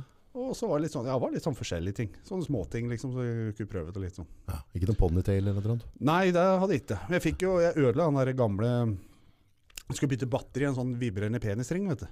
Oh, Ja, ja. det har jeg ikke prøvd før. Nei, Er det bra? Ja, det var jævlig bra. I hvert fall for den andre motparten, da. Ok, ok, men du kjenner ikke smitt til det, eller? Jo, kjenner det vibrer, og så klemmer den liksom litt, så blir jo, du får bra med blod der. Det blir som Ja, å det- stase opp i overarmen. da. at du Så det er bra trøkk. Ja, blir trøkk. Så det anbefaler jeg. Så du kan slå Det den i veggen og lage det er faktisk jævlig undervurdert leketøy. Undervurdert. Det er veldig undervurdert. Kostbart, eller? Nei, 99 gra- jeg, 129 ga jeg meg frakt, og den var med Var det med batteri da? Ja, med batteri. Ja. Men nå skal du høre det jeg dreit meg ut. Ja. For batteriet gikk jo fort om når du bruker en del. så jeg skulle bytte batteri, så husker jeg ikke størrelsen. Så dro jeg ned på Europris og kjøpte, for det er jo samme batteri som du bruker på høreapparat. Ok, ja. Og så tok jeg feil. Og så var det så vidt ikke fikk at liksom, når jeg bytta batteri. Jeg tenkte, faen, jeg kan få klemme dette. Så klemte jeg, og da hører jeg den lyden. Så bare faen. Trykte på den, det vibrerte i det hele tatt, så den var jo død. Du drepte penisringen din. Jeg ødela penisringen min. Ikke på den måten skulle jeg ikke ødelagt den, men altså, ja. Så jeg tenkte at vi er ferdig med den her, så skal jeg stikke bort på den der oss imellom på Hamar. Kjøpe ny. Kjøpe ny. Ja, så Eller det er- nye, da. Ja, altså det er nye. Du skal ha flere. Ja, det kan Har du varianter, liksom? Nei, jeg hadde bare én. Ja. Nå ble jeg jo litt interessert, for det var Har du googla det, liksom? Nei. prøvd. Ja, men jeg tenkte på som om du har mange varianter. Å ja, sånn ja. ja. Du har nok litt uh, forskjellig, tenker jeg. Den jeg har, den het um... Å, vent nå. Hva het den denne filmen? 'Fifty Shades of Grey'. Ja. Het den jeg hadde. Den var svart. Funka bra, den. For jeg vet altså, på Hamar har jo ganske mye Nei, jo, jo oss imellom på Hamar. Mhm. De har mye rart. På bilder her, da. Ja, for det er jo mye forskjellig. De er jo blå, svart og alle farger. Her er det noe med kuler på, og så er det noen Oi! Med sånn som at den går innunder. Ja, inn, ja, men har du da ekstra Ja, for der kan du òg feste på Ja, sånn Gucci'en din, da. Å, det er til deg, ja! Ja, Jeg ja. tenkte det var Arevegen, ja. nei, ja, Mot kan, dama. Nei, Nei. du kan sette denne rundt, og så kan den dirre under I skrunken. I skrunken, ja. Ja, området mellom eh, det bleka anuset ditt og pungen, ja. ja, ja. Oi, denne her var litt komplisert, da. Dette er nå har ikke jeg sett, men det er sikkert to høl. Og! Denne, da, det blir som å dra opp juletreet, dette. Der kan du få en pungen og alt. Ja, da, dama, eller damen har ikke så mye høl engang. Nei. Så den der kan du stase opp hele pungfest og alt sammen der. Oi, denne her så litt sånn viderekommende ut. Dette ble uh, Dette er jo ikke vibrerende, tror jeg. Nei, Dette så mer ut som sånn selatøy. det så ut som en sånn drasel. Ja. ja. sånn huskybikkje. Huskybikkje. Her tipper jeg, er det kanskje noe sånn du har hatt, eller? Sånn var den, bare at Sånn den var svart, da. Bare noe svart, ja. ja. Det er viktig å ha riktig farge, tenker du? Nei, det tenkte jeg ikke på. Nei, for du vil ikke føle deg litt sånn Nei, for når jeg hadde den på, så var pikken min blå, den òg. Så det var- det var litt Ja, ble det? Ja, det er bra med trøkken her, da. Ja, det blir det. Ja. Hø. Det var eh, Så jeg anbefaler det. ukas tips. Ja. Mhm. Og så er det sånn billig leketøy. Som ikke er, det er mange som syns sånne ting er sjenerende og flaut og sånn. Mm. Men dette er veldig billig, og det er lite. Lett å ha med seg til mappa på tur. Ja. Når du ting. går inn i butikken, prater du liksom om Hva er din erfaring? Og Ja, jeg gjør sånn. Og så står det sånn Står den fargen til øya mine? Nei, jeg spør ikke Eller om viser det. rumpa di? Spør jeg, ser, ja, nybleka. Nei, nei, jeg vet det, men jeg kan spørre, ja. Ja, For det er jo liksom, du må spørre fagfolk. ja. Så, Er det skikkelig pornogriser som jobber der? Er det ordentlige fagfolk? nei, det er ordentlig. De er veldig flinke på sånn hva som eh, I hvert fall på Hamar, da, så er det sånn hva slags greier Det kan være sånn en Spør om du f.eks. er du allergisk mot lateks og sånn, for da er det mye i. Altså, krem og litt sånn Ja, forskjellig. sånn, ja. Så sånne småting, liksom. Og da sier de ja, denne er sånn og sånn. Denne, de har en fin måte å si det på, da. For de vet at de som kommer inn der, er kanskje første gang de går inn der. er litt Første reis sånn. ut, ikke sant? Ja. Det blir jo sånn første gang du fant pornoblad på hadde meg på gutterom, ikke sant. Ja, ja, Det var å låse døra med seks låser og Ja, dra for gardinen alle sammen. Ja. Så det blir jo samme regler. Til slutt så lå du på solsenga. Ja. Uten blad. Tenkte ikke det lenger. Uff a meg. Åssen var påsken? Påsken var fin. Mm? Varmt og fikk du rota til noe? Nei, skal vi se om jeg tenker at jeg rota litt der. Nei, jeg rota til litt før påsken. Ja, ja. Gikk litt fort i svinga, for jeg skulle, jeg skulle dra skjærtorsdag morgen. Ja. Pakka med penisringen, alt var på plass? den, Nei, den var ødelagt. Den var ødelagt. ok, ja, så var det ikke noe Det var derfor du konsentrerte deg. Ja. Uh, Og da liksom på onsdag da skal jeg hente en henger Mm, og hente en kubikk med ved. mm, Og til målet å hente treningsstativ som jeg da skulle frakte på Excel. For gymeieren kjøpte mitt gamle. mhm. Så fikk jeg da hans gamle i retur, og det skulle jeg også ha med opp til Sogn da, under denne veden. Og veden. Og gjorde det, pakka. Ta med ved til Sogn. Ja.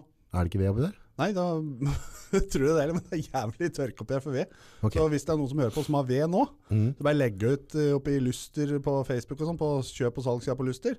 Så kommer det folk fra Sogn ned og henter, Ja, liksom? Ja, er, da bør det være noen kubikk, da. Men ellers så kan jeg ta dem opp for en liten slant. Det kan ordne dette der. ja. Litt sånn på si. Litt på si? Ja. Sånn farget betaling, for å si det på den måten. Ja, ja, ja. Eh, Samme fargen som penisringen? Ja. Men eh, det som var, da, var at jeg har omregistrert bilen og sånn, da. På det nye, fra det gamle til det nye firmaet. Yes. Og da har det gått litt i svingen. Litt fort. Ja. Så blir jeg stoppa i kontroll. ja.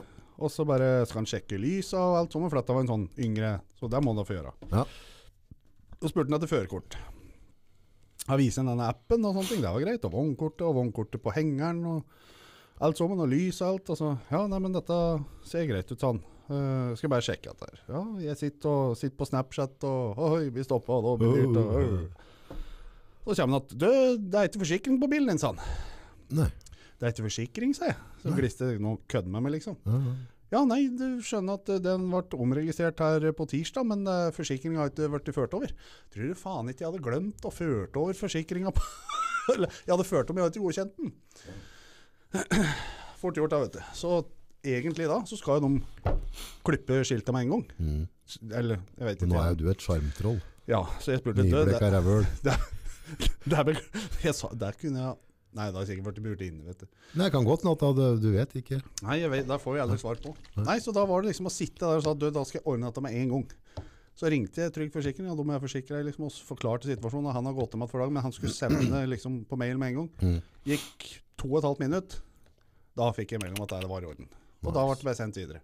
Men jeg er ikke ferdig der. Du er ikke ferdig der, nei. Nei, nei, nei. Så drikk på bensinstasjonen og fyller diesel og, og luft i dekk og stramme stroppa. og er klar Å, du er der, ja. Ja, ja, ja. Og og- og- skal kjøre så langt, da, vet du. ja. Så du er trafikkforsvarlig. Alt over tre timer, da skjerper jeg meg. Gjør du det? Ja. Sjekke stropper og luft. Sjekke stropp, strap-on Nei, stroppen og sånn, Ja, og ja, litt sånne ting. Og så, så kjører jeg inn der. Uh, og så kommer jeg hjem igjen, akkurat når jeg kjører på gardsplassen, så hører jeg bare Sier jeg bare framme der. Tenkte nå gikk registrema nå, liksom. Men det var ikke det. Det var multirema. Så ikke hadde jeg servo, ikke hadde jeg kjøling på bilen. og hen får du tak i en sånn når klokka er halv elleve på kvelden? Ja, oppe i Stryn eller et eller annet. Nei ja, da tenkte jeg Ja, nei, men da får vi se. Vi får ta det i morgen til, da. Men det var jo skjærtorsdag. Men da sto du på bensinstasjonen. Nei, da hadde jeg kjørt hjem igjen. Du var hjemme igjen, ja? Ok, Ja, for det ja, trent litt sånn, da, så jeg var hjemme igjen. Det var på kvelden. ja, ja, du skulle nå Ok, ja. ja. Ja. ja. Eh, Så tenkte jeg at ja, men det- det er ingen som har så uflaks som meg, så jeg ble så oppgitt. Så nei, da får jeg liksom gå inn og dusje og satse på at noen har rem. Da så begynte å sende noen meldinger, og så bare faen, så hadde jeg glemt treningsbagen min i bilen. Mhm, Og jeg hadde rydda bilen min dagen før. Da går jeg inn i bilen og henter bagen. Så sitter den fast i saga bak i bilen. Og ble så irritert, så jeg nappet til. Ja. Det som skjer da, var at hele bagen revna jo, så treningstøy og sånn utover i hele bilen. Men hell i uhell nå, for Ja. da skal jeg inn og hente skoen som datt under den ene hylla. Ja. Der hadde jeg ikke rydda. Vet du hva som lå under den hylla? Du tror ikke? Spill nytt baklykt og en multireim! Er det mulig? Er ikke kødd engang! Jeg tenkte at dette må jo være feil, men jeg har jo hatt den samme bilen før, og da jeg kastet over delen der, liksom, bla, bla, bla. sånne. Ah, Og jeg jeg, jeg visste at jeg hadde hatt den en gang. Så klokka kvart på ett om natta, da var jeg i seng, for da hadde jeg skifta multirem ute på gardsplassen der. Altså, blid. Så jeg har jo ganske mye sånn Så jeg har kutt i fingeren her, og, ja, og, ja, for jeg blødde jo ganske bra, for det var trangt nedi der. ja. Men eh, jeg kom jo opp til Sogn og fikk være med og se på nye lammunger, for det er lamming og sånn oppi der. Og. Lammunger, ja. Ja, ja, ja. Ser du er det koselig, eller ser du mat? Nei, nå var det koselig. Ja. For de drev og spratt rundt. Og, så jeg tenkte Jeg fikk så mye annen god mat oppi der, så jeg var liksom Ja. var ikke så ofte jeg var sulten oppi der. Hva, de fôret deg på? Og alt mulig rart. Og det var De laga hjemmelaga aspik, og det var eh, Aspik? Aspik, ja. Sånn, eh, vi, vi kaller det vel noe annet. Sånn eh, skjelleform vet du, med grønnsaker og sånn inni. Uh, hva er det det heter for noe? Uh, Fader, da. Det het noe annet, kanskje. du, Andrén, hva heter det? Sånn, der, sånn skjellegreier med grønnsaker og alt mulig dritt i. Nei. Nei, jeg husker ikke helt. Nå kalte det i hvert fall aspik, men det er noe annet. Ja, skriv da, folkens feltet. Ja, vi trenger dette her. Ja, Eh, dette må jo komme inn. Og det, og så åt vi Det er jo helt grusomt. Nei, jeg syns det er godt, jeg. Dette, er- det har, dette har jeg sett åt farmor og sånn før. Ja. Dette er, Det er gammel mm, kost, dette her. det er bare Så- skjelle med alt inni. Ja. Ja. Ja. Men jeg åt ikke det, da. Nei. For jeg var for trøtt. Eh, så jeg åt, eh, jeg åt ribbe. Alt mulig rart. Der stekte de oppi der. Ribbe. Ja, Nice, Det er- nice, nice. det var godt. Og så var det alt mulig annet rart. Og pasta og det jeg har med her, sånn der, eh, kyllingpasta og alt sånt. Ja, du tok dere mat nedan til Nei, dette lagde jeg i går. Du lagde i går, ja. Ja, ja. Skokkelert i går. Så, Er du god på meal prep, eller? Mm, eh, nå så jeg begynner å bli god igjen. Nå har jeg Ja. vært en 14 års tid sånn før under påske som er veldig dårlig. Mm. Eh, for jeg har slappa av og sånn. For jeg er sånn når jeg bestemmer for at nå er jeg til 110% i huet, nå vil jeg slappe av, da slapper jeg helt av. Mm. Uh, og det får jeg før når jeg begynner igjen. Mm. Uh, så vanligvis meal prep er jeg god på, ja. Men uh, det syns jeg er dritt med sånne bokser. Det er minst tilbake at det skal være noe skal flink å gjette. Mm. Så, så, så hodet mitt sier at i morgen skal jeg spise det og det. Ja. Så kommer i morgen, så spiser jeg rått ikke. Ja. Så blir det liggende sånn under setet. Det er helt håpløst! Oh. Fy fader, mange sånne bokser jeg måtte kalle jeg, Jeg jeg orker er ikke Og sånne shakere. Med gamle sånn proteinshakerester og sånn. ja. Ja. Hvorfor er dette så vanskelig? Det er sånn mentalt så, «Å, I morgen skal jeg ete sånn og sånn, Ja. skal jeg det og det. Og så kommer morgendagen, så bare Nei, ta en Stratos hver. Ja. Nei, men det er sånn. Det er godt. Og så er det ikke så jævlig komplisert med denne meal preppen allikevel. For da folk sier ja, du skal lage åtte-ni bokser. Og bare sånn, ja, det gjør ikke jeg da. Jeg et frokost hjemme, liksom. Mm. Så har jeg med to bokser på jobb. Ja. Og så har jeg jo kanskje en boks hjemme i kjøleskapet som jeg spiser før trening. ja, Og så lager jeg mat på kvelden. Ja. Det er liksom, det er det. det er det jeg gjør. Ja. det fungerer for Men meg. lager du da, da lager du på kvelden før du til i morgen, eller vil du ta det på Hvis jeg har god tid på morgenen når jeg skal på jobb, Ja. eh, så lager jeg alt på morgenen. Ja. Uh, Stå opp kanskje en time før. Og da tenker jeg på, ah, men da kunne jeg sove en time før. Men da er det bare å legge seg en time før. Ja. Eh, For det blir det samme. Ja, det gjør det. jeg, jeg synes egentlig Solvangs enkle filosofi. Ja, det er som Rema 1000. Det enkle er ofte det beste. Ja. Hva var det dama di sa? Ja, fy faen. Ikke vrangstrupe her. Faen meg. Ja, men jeg er nok ganske enkel, ja, i de flestes øyne. Det er ikke så komplisert, liksom. Har du mye mørke tanker som du, eller flyr du unna det stort sett? Tenkte på Jeg prater på e, så ser se enkelt på ting. Mm. Også, eller er det sånn at du ligger og kjører huet på kvelda og sånn? Kommer helt an på hva det er. Um, jeg prøver egentlig å Jeg tenker egentlig at alt det negative kan du få en positiv ting ut av. Mer kaffe? Ja. Så det er liksom Men ja, det, du merker at det ting er, hvis det går tungt og tungt og tungt og tungt i flere dager over lengre tid, da blir det jo tyngre. Ja. Men da må man òg liksom legge om, sånn som jeg har vært flink til nå det siste halvåret året. da Ja. Spesielt siste halvåret. Da. Eh, da er det sånn Hvorfor er det sånn? Du må tørre å stille deg spørsmålet hvorfor er det sånn. Er det noe du kan gjøre for å komme ut igjen? Mm. Og så tror folk at ja, men du må bare gjøre sånn og sånn og sånn. Da kommer det helt an på hva det er. Mm. Men det er liksom, du bør ikke snu helt om på fliset med en gang, men ta litt og litt og litt og litt og litt for hver dag. Og da merker du at, merker at ja, nå har jeg gjort dette i dag, det har jeg utsatt lenge, nå har jeg gjort det. Det er en god følelse. Mm. Da gjør du det samme dagen etter, og plutselig så har du gjort to ting. Det er liksom, ta det pent og rolig liksom, i sitt eget tempo, da kommer en jævlig langt altså. Ja, for, det, for store forandringer skjer jo over tid som regel. Det er, det er jo Ja. små forandringer over lengre tid som blir store forandringer. Ja, det er det. Så ja, for dette er jo sånn derre som Jeg kjenner meg alltid sjøl òg, at, at uh, hvis, jeg, hvis jeg er øh, et eller annet sted i livet, da, på en eller annen måte, eller hva det nå enn er, Uh, og så er jeg misfornøyd med det, mm. så jeg, så jeg trives ikke i den situasjonen jeg står i på en eller annen måte, og så vet jeg jo egentlig hva som skal til. Altså, Jeg må jo gjøre en for, altså, jeg kan jo liksom ikke bare fortsette i den akkurat samme rutinen, ikke forandre på noen ting og tro at dette kommer til å snu seg. Nei, nei. Jeg må jo gjøre et eller annet. Ja. Men når du er litt der nede, så er det så jævla vanskelig å gjøre så jævlig tiltak, ting. tiltak. Ja, det er så tiltak. Og så er det sånn Ja, men dette er så lett. Dette kan jeg gjøre i morgen. Dette kan jeg gjøre i morgen. To måneder senere så bare Ja, men det er ikke kødd. Har Two months later. Ja.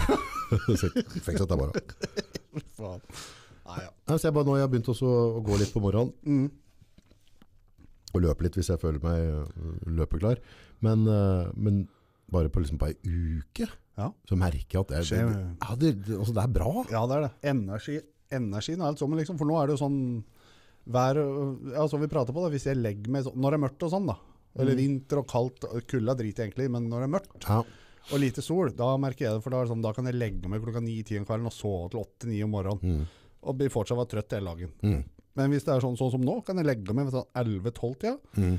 Og så blir det vekt av fugle, åh, fuglekvitring og sol og sånn klokka halv sju-sju om morgenen. Ja. Da spretter den opp. Ja. Eller da, ruller meg rundt, da. Og reiser vi opp. Sprette opp? Sprett opp, kanskje. Mentalt så spretter det opp. Ja, det gjør jeg. Ja, ja. Så det blir jo sånn. Ja. Og da er liksom det beste det er egentlig, hvis du vet at du har våkna kanskje en halvtime, tre kvarter før klokka, Så er det bare ta seg vann og ta med bikkja ut, og så bare gå en liten runde i solsteka, liksom. er ikke det nydelig? Å, fy fader, det er godt. Åh.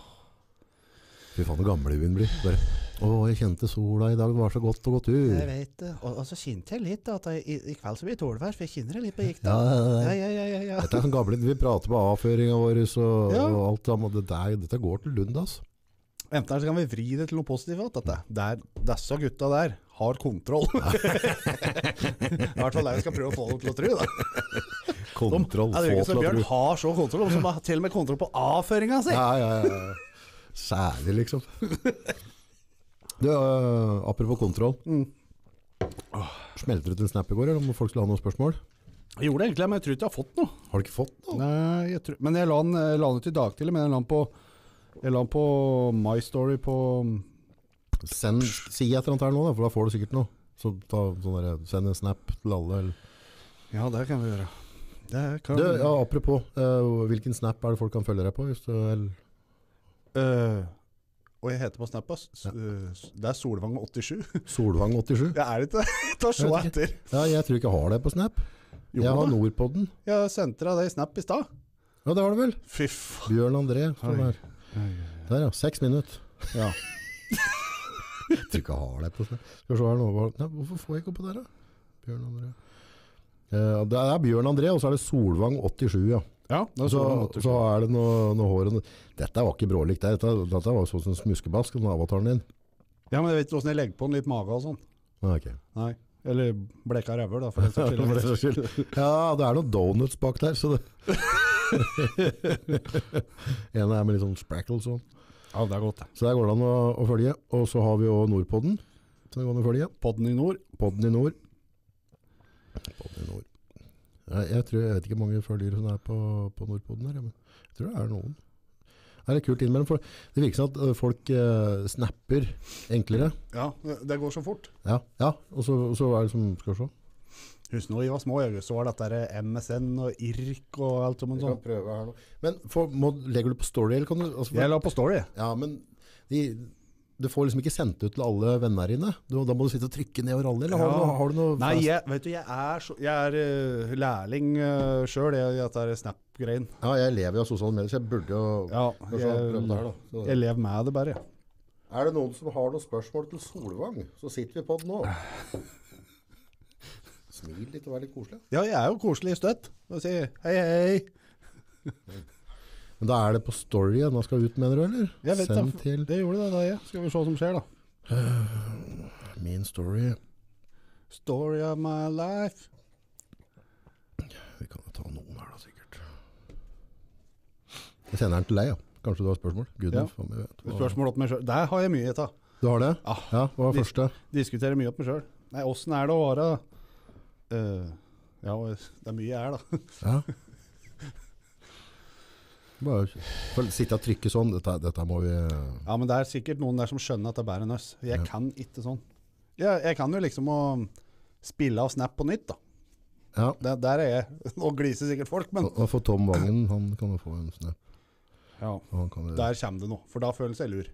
ja. Hvorfor kommer han aldri? Altså Han har sagt han skal komme i pod. Ja, Hva er det han er så redd? Ja, Men se på den, da. Ja, ok da. Ja. Kan du ta det uten bilde, da? Ja, kan jo egentlig det. Ja, det er nok det vært det greieste. Hvis det er viktig for den, liksom. Men alle vet jo det. Ja. Nei. Han, han burde dukke opp. Han burde egentlig det. Han er liksom Norges sterkeste bruktbilselger, må være. Ja, ja det er det nok. Kan ikke være noe annet. Nei. Uh, jo, der. Sånn, nå sendte jeg litt. Skal vi se da. Skal vi se om det er noe som biter på. Bit på, ja.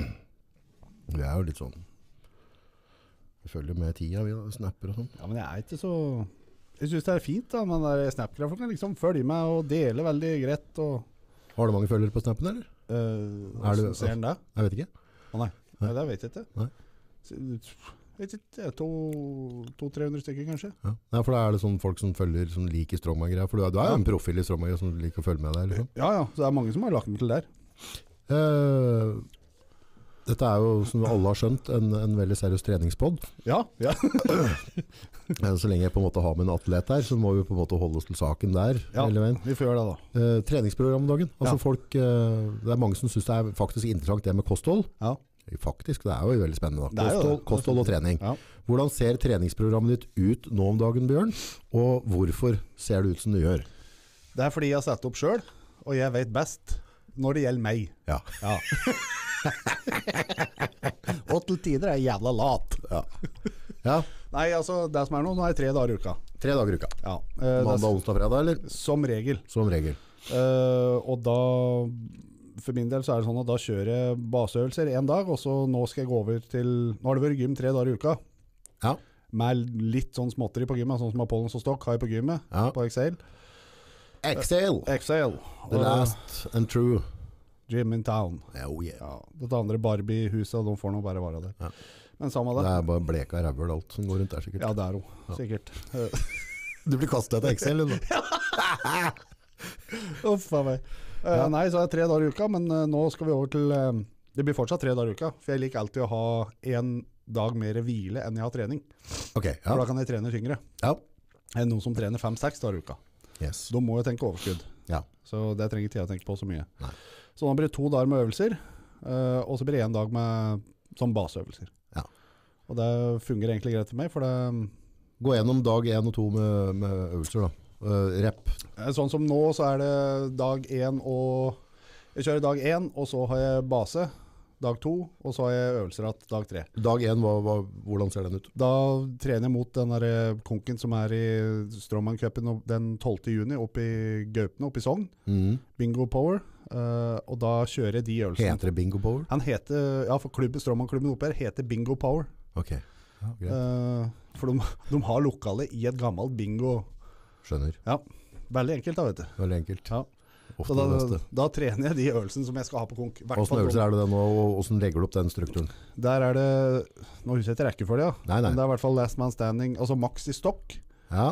Uh, Stokk, det er da, for folk som det er røret det er som ligger på bakken. Stålrør, ja, som er 30 cm i diameter omtrent. Ja, Som skal løfte og vende uh, opp på magen og helt opp til brystet og presse over huet. yes. Tyngst mulig. Skal liksom tilsvare en tømmerstokk, liksom. Ja, det skal egentlig for det er der det begynte. Ja, og der har jo du egentlig vært fæl og sterk opp igjennom. han har norgesrekorden enda. Ja. Uh, jeg vet ikke om det blir flyttet i år, men det får vi nå se på. Ja. og så er det uh, dekkvelt. Ja. Men når du trener stokk, da? Ja. Og nei, tyngde? Stokken for meg er ganske Jeg er ganske heldig med skuldra. De kommer ganske fort, så stokken prioriterer ikke så jævlig. Nei. Eh, så der tar jeg til dagsformen. Der går jeg alltid opp til ett til to sett ganske tungt. Nesten opp mot maks hver gang. Ja, altså det du klarer på én rep, da? Ja. Ja. Eh, det jeg klarer på én rep, da. Ja. Eh, der, da stopper jeg på én, og så kjenner jeg at å, jeg kunne ha tatt to. Ja. Da stopper jeg på én. Kunne jeg ha tatt tre, så stopper jeg på to. ja. Eh, så jeg har liksom én eller to repper til i tanken. på, Ja. ja. Hvor mange sett har du da? to. To. to tunge, og så går jeg ned til ett Men har du oppvarming først? Ja, hvor, alltid. hvor mange ta? Oppvarminga kommer man veldig på. Det er fra dag til dag. Spørs hvor tungt jeg skal opp, liksom. Det kan være Stokken min tom er jo 90 Nei, faen tung er den? Er 90 kilo tom. Ja, Um, så det er oppvarminga 90 kilo. ja, så begynner der, liksom. Og da kan du kjøre to, tre, fire sett ut av ti rep eller eller Ja, jeg kjører som regel to oppvarmingssett på ja, alltid fra fem til åtte repper. Ja, Og så går det til kanskje 100, for jeg bruker lang tid på å bli god varm. da. ja. Eh, Men når kiloa øker på oppvarming, så kjører ikke jeg like mange rep. Da kjører jeg heller færre rep på flere sett, for da brenner vi ut mye, mye saktere. ja. I stedet for å kjøre to sett på 100 kilo oppvarming Ja. på ti repper, så kjører jeg heller to-tre sett med kanskje treere. Ja. Det blir ikke like mye, men du blir like varm. Ja.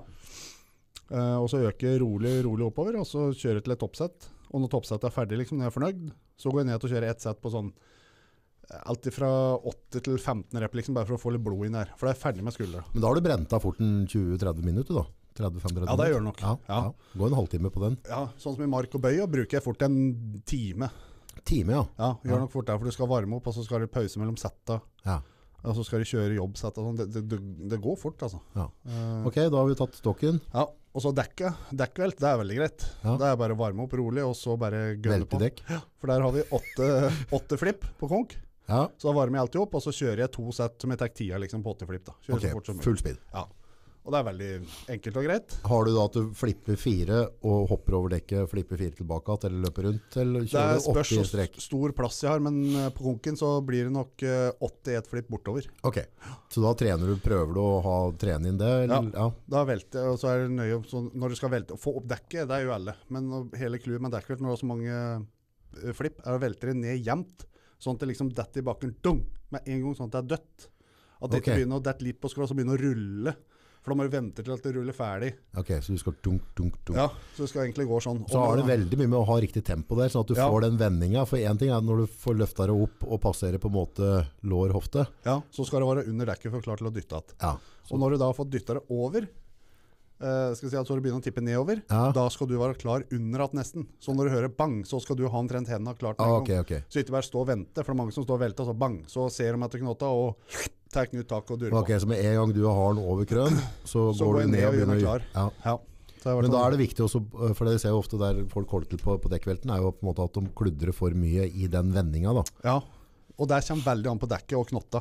Fryktelig. Ja, så om du glepp, om du er ivrig, så du må liksom prøve å holde et jevnt tempo uten å fucke opp, da. Ja. Som alt annet. Ja. Så det er ganske basic øvelse, litt kul å se på for publikum, føler jeg. Ja. ja Um, Dekkvelt er veldig ja. ja. det er. Det er jo det. Og så er det medley. Det er medley det er betegnelsen for at én øvelse er satt sammen med en annen, kanskje to eller tre sammen. Okay. Så da har vi 15 meter med 380 kilo på ryggen som vi skal flyge med. York. Ja. Ja, det er jo rett og slett stativ, vektene på, løfter det noen centimeter av gulvet, mm. og så finne en fin rytme bortover. Og gå fortest mulig 15 meter. Så skal du sette deg ned i yoken. Så skal du flyge oppi rett og slett ei stålramme, firkanta ramme, som det er håndtak på hver side, og Mhm. gå i midten. Uh, framewalk, og da skal du gå 15 meter tilbake. Den er vel, tror den var 300. Ja, framework blir jo på en måte en litt annen form for farmers walk. Ja. Ja. Så det er den øvelsen. Men på Jåken eh, for der ser jeg at, at der har jo veldig mye også tempo der, at du Ja. får en fin balanse. For ser hvis, hvis folk får eh, at de begynner å pendle, at de er ute av balanse. For jeg ser at dem som er gode på det, de får den opp, Mm. så legger de med tempo, og så klarer de å gradvis øke, Øke det tempoet. ja. For at Går det for hardt ut, og så mister du tempo, så får du den der, så, så det ser liksom Men å ha den riktige flyten der, Mm. det er utrolig kult å se når folk har den flyten. Ja, for den øvelsen har vært akillesen min i alle år. Den har jeg nok tapt mange konkurranser på plasseringer på. Ja, Eh, men nå begynner det å bli litt moro. Ikke fordi jeg, jeg har jo blitt bedre, Ja, ja. men fordi at nå er, er det egentlig jævlig små justeringer som skal til for at jeg skal øke ganske mye. ja, så du får fin rytme. Ja, Så jeg har egentlig veldig enkelt og greit rådført med meg med, Ja, jeg tør nok påstå at han er Norges i norgestoppen noensinne i Oak. Mm. Jonas Baten. Ja. Uh, han fløy Fader, hvor mye var det? 15 meter i fjor. Med 380 kilo på nakken. ja. Gikk han på 7 sekunder blank. Uh, Og det, er, eh, det, det blir en meter i sekundet med nesten 400 kilo på ryggen. Det er drøyt. Da vet du at den har fart. Så da spurte jeg liksom hvor lang tid tror du du bruker på For vi skal ha samme vekt, da. Ja. Og han sa at jeg brukte i fjor på samme lengda, samme vekta, brukte jeg 7 sekunder. Ja. Og det vil da si at jeg må da finne en uh, vekt som jeg kan trene fart på. Jeg er sterk nok til å løfte det, men det er farta det kommer an på. Ok. For det er ikke noe vits for meg å gå og stabbe 15 meter med 400 kg. Da får du ingenting ut av. Nei.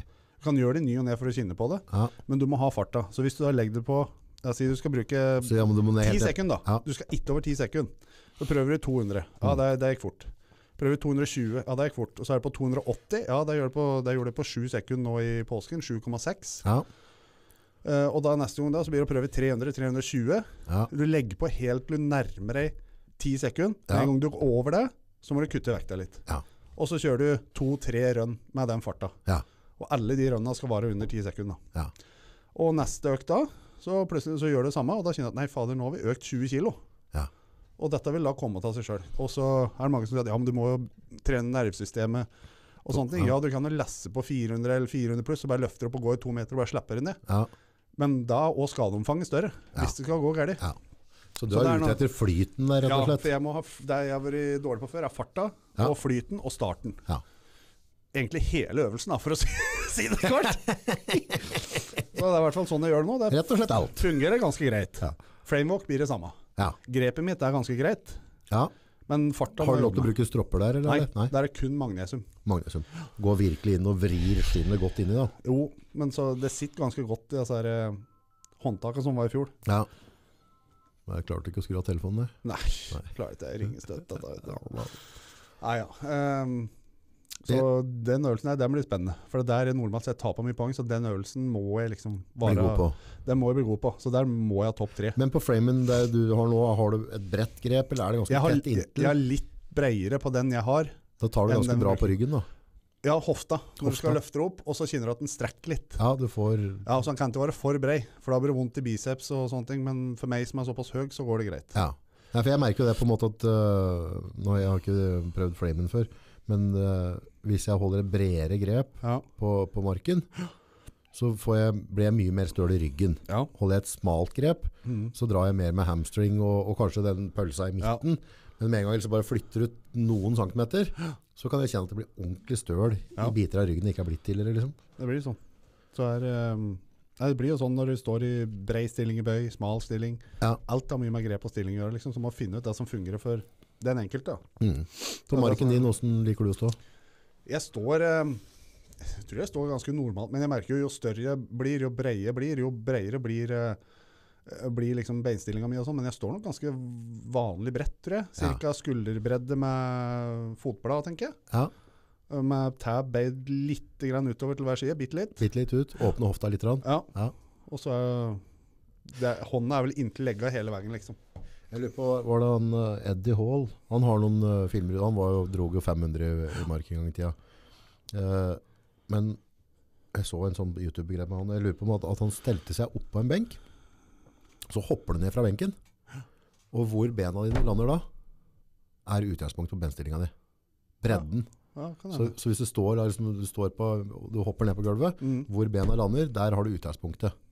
Ja. Uh, og bredden på grepet hans var bare det at så lenge ikke eh, triceps, biceps eller underarmer toucha knea, Ja.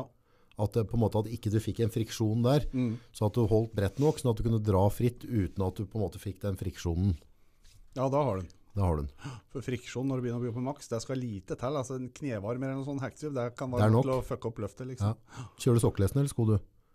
Eh, som regel sokkelesten, men nå har jeg begynt med sånne veldig flat såle sko. Og det er akkurat som jeg føler at det står mye stødigere. Ja. Så jeg taper ikke noe på å løfte med sånne flate sko, liksom. Nei, jeg har aldri fått rytmen i sokkelesten, hverken på, på bøy eller blir litt på, vinglete. på Ja, jeg får ikke den samme stødeligheten, synes jeg, og ikke, spesielt på marken. Ja. Da vil jeg nesten heller stå, nå løfter ikke jeg noe mye da, men da synes jeg det er bedre å stå i, i vanlige Nike joggesko. Ja, liksom. ja, faktisk. Så, så er det litt å få litt ut av da. Og det er jo litt av med at jeg opplever ofte at, at uh, når jeg dytter, Mm. at jeg ikke er god nok til å aktivisere bakre delen når jeg presser. Mm. Altså hvis jeg er flink og presser godt med hæla, så, så drar jeg med mer av skrotten på en måte. Ja, den skal gjøre bøy og sånn, vet du, for det er mange som løfter med Tåtuta. Tåtuta, av fotblad liksom foran. Da driver du bare og balanserer, vet du. Ja, så det blir aldri- tungt. Får aldri, får aldri skjøvet. Nei. Så Yes. Uh, med, eller uh, flamen, Etter det så har du da har vi Ja, fader, hva var det mer vi hadde? Vi hadde Skal vi se. Du har stokk, og så har du Jo, mark, markløft for Markløft repetisjoner. tar det på samme dagen, ja. Markløft for repetisjoner. 320 kilo for repetisjoner, vanlig stang. 320. Ja. Mye rep er du opprutt ut nå? Har ikke peiling. For det er lov med drakt der, vet du. Ja, okay. Så jeg må begynne å trene drakt for å få den til å liksom For Ja. det er en egen teknikk. Men 320 føles det lett nå? Uh, jeg har ikke gjort 320 ennå. Nei. Nei. Jeg, det tyngste jeg har gjort, er 290. Ja. Det er det eneste jeg har gjort. Ehm, så jeg vet egentlig ikke. Jeg- Føltes det greit på 290? Ja, det gjorde det egentlig. Ja. Eh, For marken er en sånn greie du må egentlig ha altså Du må dra da- litt mark i et års tid. Altså, for det sitter jævla mye psyken på marken å Ja, tørre å dra. Og så er det liksom marken du skal, du skal først ha stokk, da bruker du ryggen. Så skal du ha frame og yoke, som da komprimerer ryggen. Mm. Og så liksom skal du ha alt mulig annet. Jeg har opplevd at, og det er litt av at jeg har plager med ryggen fra tidligere. Ja. Alltid har hatt litt respekt for marken. Jeg er redd for å, å dra feil. Ja. Eh, så det jeg føler at det har liksom holdt meg mye tilbake. Og så har jeg noen ganger hatt perioder før som jeg har trent, og så har jeg på en måte fått den der følelsen at det bare er, er uovervinnelig. Ja. At jeg bare laga av betong. ja blir... Og, bare, og, bare, og da kan jeg liksom bare ta tak i stangen så bare dra. Rive Det, det, ja, bare røske og rive. mm, det er så synd. Det er så langt mellom hver gang det føles sånn. da, Ja. Men han Eddie men han, han drar jo så klart med reimer når han Ja. drar tungt. Har du sett det med snappen der, at den har litt eh, Og det overraska meg litt, for jeg har alltid vært den når du drar marken, Mm. så tar du tak i stanga, og så trekker du liksom Drar du veien opp. Mm. Men han var jævla opptatt av å få vippen, altså der, eh, pisken, i stanga. Ja. Så han har liksom en centimeter eller to å gå på på reima, og så bare ja. røkker den, liksom. Mm. Altså han, han skal ha For han sier den starten der, hvis du bommer på den starten, Da er hele løftet ødelagt. ja, Mm. så er du litt der òg, at du er aggressiv i starten på den. Jeg er stikk motsatt. Du drar jeg rolig? Jeg drar rolig, så kjenner med en gang jeg kjenner at jeg får løftet sånn jeg vil, at det, nå begynner det å flytte seg, Ja, da øker momentet, liksom. sånn har jeg vært òg. Ja. Men han var motsatt der. Han mente at du skal bare Du skal opp, ferdig, og så skal Jo. du bare røkke. Ja. Det kommer på mye dagsform og sånn, men alt som er tungt på trening, går mye lettere på, i konkurranse. Ja, for da har du adrenalin og Ja. alt. Og folk og sånn rundt, og det hjelper noen det. Altså. Mm. Så da er det liksom Åssen Ja. er oppkjøringa di på mark nå, da? Og nå er det mark én gang i uka. En gang i uka? Uh, og da er det med varme opp godt, bruke litt tid på å varme opp, og så mjuke opp hoften litt og sånn. Og så etter hvert som du kommer litt opp fra 2,50 og sånn, så blir det drakt og sånn nå. Ja. Og så kjøre det, og så blir det liksom å Bare et par sett å kinne på tyngre vekter, sånn 300 pluss. ja. Og så blir det nok et sett i ny og ne som du prøver å dra repper, bare for å kinne åssen det er å puste, hvor du skal stå, høyt du skal ha drakta.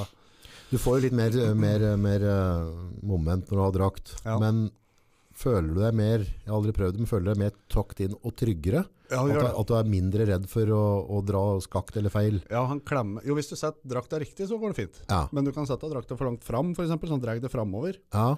Eller uh, sånne ting. Så du Drakt er egentlig sånn eh, Uansett drakt, så må du ha mye mye Drakttrening. drakttrening for å få den til å fungere. For alle drakter er forskjellige i forhold til hvilken kropp du har. ja.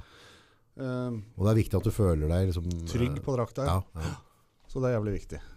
Og siste jeg har snuppet, er vel bare stein. Og det er helt vanlig. Ja. Og det har jeg prøvd én gang i år, så det må jeg òg kanskje dra på litt. Så der har jeg bare en 130-150 kilo stein. Ja. Og da blir det bare reppe, liksom. Ja. Og nå merker jo det når du blir sterkere, for da går de lettere. Hva er din filosofi på steinløftinga? Jeg ser noen mener at uh, Du ser så her, eh, hva de heter for noe? Uh, så gutta på bor i Irland. Uh, Ja, det Stoltman-brødre. ja, det er da kul gjeng. Ja. Har du sett dem på YouTube, eller? Nei, jeg, jeg har sett så vidt av og til når de har trenet. Ja, de syns jeg er underholdende. Ja. de har liksom, for det er to karakterer, det er to brødre. mm. Så de er veldig kule. ja, de er litt morsomme. Ja, det virker som en hel ved. Ja. Der er det jo faktisk et rett prat på det. Egentlig burde jo uh, pakka sammen noen av kålua er rundt der. ja. Og så dratt opp. Tjukketom og, og hele greia. Og så, og så tatt en tur, tatt på oss kamera. Og dratt og tatt en treningsøkt med dem. Ja. For jeg tror det sender vi mail til dem. Ja. Så, så, Å ja, ja, de åpner med ja, de, ja, ja. Og det har vært tøft å være oppe og drøkke litt og Ja. spise litt biff. Og jeg vet ikke om vi drikker Liron og drikker om kapp med disse der, da kan det bli kjent hjemme igjen. Hvis vi kommer oss hjem igjen, da. Ja. Ja, hvis det, du kommer fra Moelven, jeg kommer fra Brumunddal, og jeg bruker vel selv fra Ridabu, vi må klare å hamle opp med noe Det blir jo noe, da. Det blir noe. Det blir en historie. Da må vi sette kameraet i hjørnet, bare la det gå. Ja. Kanskje sånn livesending. Ja, det er ikke visst at jeg løfter noe, men jeg kan filme. Det er, det er god nok trening for meg å holde kamera. Oh. Skal vi se, jeg har fått noen snapper. Skal vi se der, da. Uff da. Ja. Har du vel? Ja, det har jeg visst. Dette blir, dette blir spennende, vet du. Roar Grimsrud. Mer historier om brukttilselgeren er alltid god underholdning. Har du gjort det dumt det siste, Anna? Har du vært ute på en tur med den? Nei, jeg har ikke vært på tur med den. Ja. Jeg skal se åssen historie kunne tatt oss og flådd han for. Skal, jeg skal ha det i bakhuet. Ja, det er en som lurer på om du har uh, tryna på rulleskøyter før? Ja, det, det har jeg gjort, ja. Det har du! Få høre. nei, eh, eh, jeg sto bak en bil en gang. Ja, så klart. Ja, for å liksom bare se fort vi turte å kjøre til. Så hekta vi på tau på fangeren på denne bilen og dro på rulleskøyter bortover skoleflata der i Malven. da. Og så uh, hadde på, Jeg hadde på hjelm, da. Hjelm, ja, så klart. Ja, men jeg hadde jo T-skjorte og shorts, da. Så hadde jeg dødd i, så hadde jeg sett ut som en kjøttkake. uh, og da var det liksom å dra opp, og så slapp jeg når det begynte å gå for fort, da. Ja. Syns jeg, da. Ja. Problemet var at det, det var litt innoverbakke, og det var, jeg, hadde ikke, jeg hadde skrudd av seg knotta bak som jeg bremser med. Så klart. Um, og da zoom, passerte jo bilen, og rett inn hos skoletannlegen i Målven, og rulla rundt på gresset her, og stoppa inn i to sånne containere, sånne digre plastcontainere. Der stoppa jeg. Det er. Så det jeg gjort, og så er vel eh, jeg, husker, jeg har sikkert tryna noe mer, men det er ikke noe jeg kommer på akkurat nå. Jeg sto jævlig mye på rulleskøyter før. Til og fra skolen etter mopeder og ja, ja, Du var den kule typa. Jeg var litt sånn kul type. Blader. Jeg syns jeg sjøl, da. Rollerblader. Ja. Så her skal vi ta neste da. Ja, fra Lasse. Uh, kompenserer du med store biceps for at du har en liten tiss? Praten om penger, eller? Nei. Nei. Jeg har da ikke noen armer. Jeg, har ikke, jeg, har ikke, jeg trener til biceps, og jeg har ikke så fryktelig stor tiss. eller, Altså, jeg klarer meg. Så jeg, vet ikke om jeg kompa Nei, det tror jeg ikke. Jeg er ikke sånn som trenger egentlig Jeg trenger egentlig eh, å kompensere for noen ting, egentlig. For. Du må, det må jo være tidenes boligmyte, ja. ja. Ja, den vil fram til at boligmyten også får den mindre tiss av å, å Ja, bruke den, steroider. den går igjen, da. vet du. Den går alt. Det går, går overhodet ikke utover tissen i hele tatt. Eneste over lengre tid. Så vil du stropp, stå, stroppe Uff, nå vil du stoppe din egen testosteronproduksjon, og testiklene da blir mindre. Det skjer. Ja. Så du får mindre sånn- mindre testikler, men har ikke noe å si på størrelsen på penisen i det hele tatt. Nei. Det var sånn en kamerat meg fra Irland sa han så oss han, Fucking no nuts. uh, skal vi se med spørsmål, det var, Han sendte meg spørsmål på Messenger sist, men det står der ennå. Da skal jeg gå inn og se der. Uh, kan noe med ny pod. Hør på sist med Charles nå. Ja. Uh, skal jeg se, se der. Det var fra Lasse. Uh, Tommy ofte lurer på hvorfor det har blitt så, så tynn. Prat med deg nå.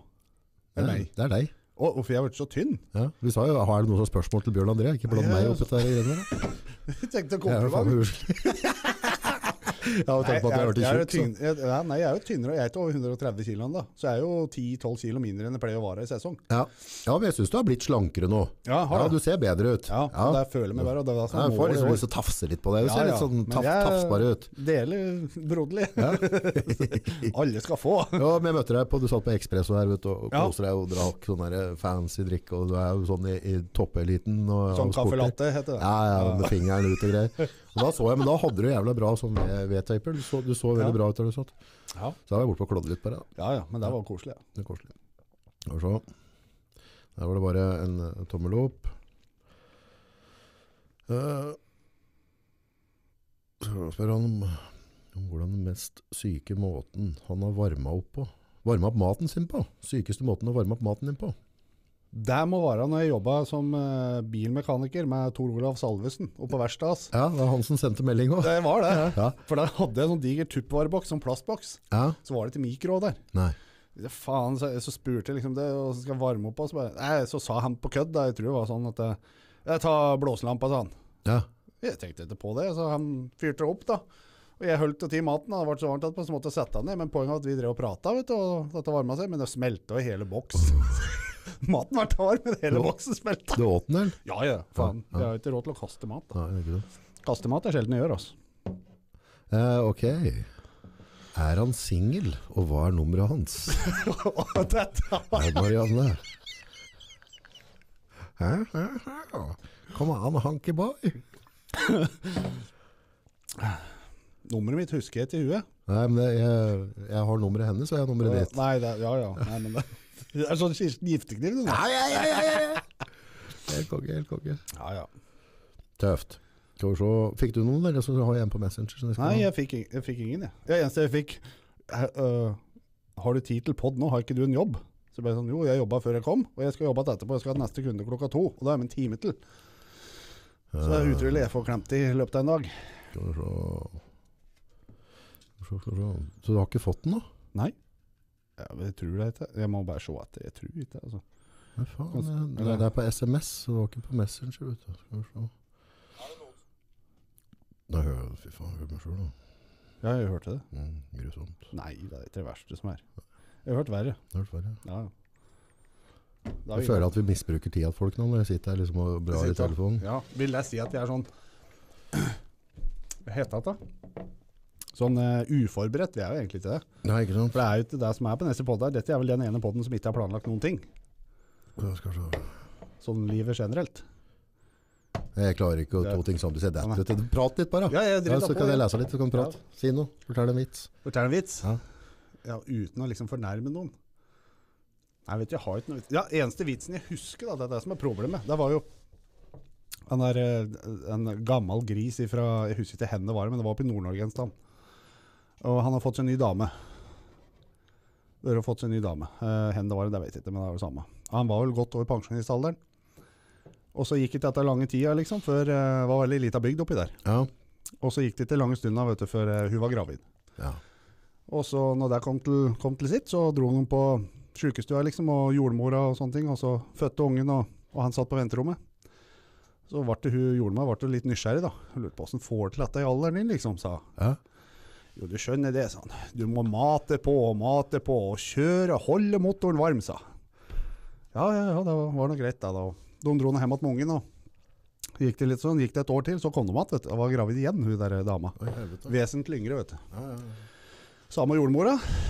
Og så spurte liksom Ja, åssen får du det til, liksom, sånn, ja, ja. i din alder? Jo, du, du må holde motoren varm, sa han. Du må kjøre på, sa han. Liksom, holde motoren varm, sin. Ja ja, det var nå greit. da. De ble sendt hjem at alt var bra med både unger og sånn. Tredje året på rad hun kom igjen. Så satt gubben og venta på venterommet der, vet du. Og stolt som en hane med altså to andre unger som satt der og Ja, skrek. ja, og Kjem samme jordmor igjen. Og før jeg rekker å si noe, så sparka opp døra og si 'Nå må du pinadø du skifte motorolje på motoren din', sa for nå er ungen svart.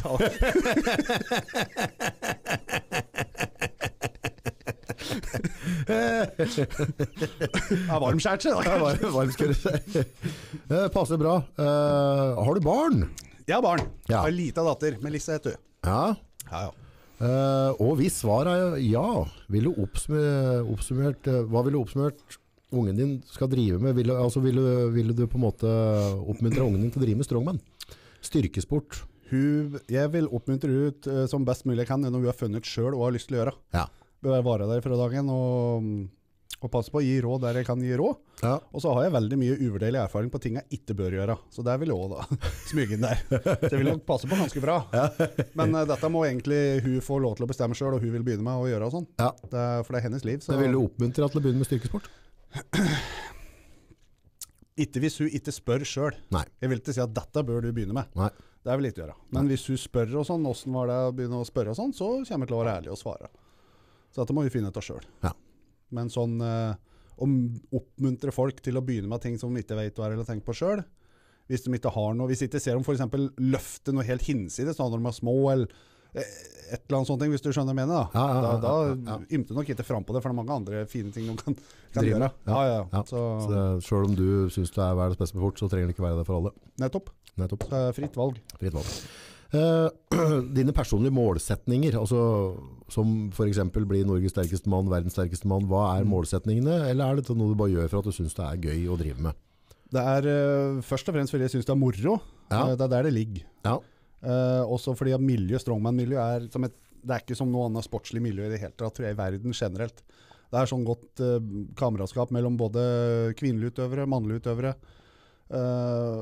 Det er liksom Du blir kjent med mye folk, du får reise rundt, liksom. Uh, Jeg tror du sa- eh, tenkte altså, til med trøndere, altså kvinnelige, mannlige trøndere. ja, de, de er jo der, de.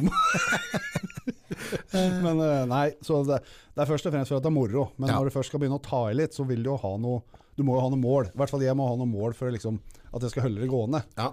Så målet i år i hvert fall, det er å vinne den der konken oppi På opp kaffen. det er bingo-konken. Ja, bingo. Og kvalifisere meg til NM og vinne NM. Det er det som er de to hovedmåla i år. Ja.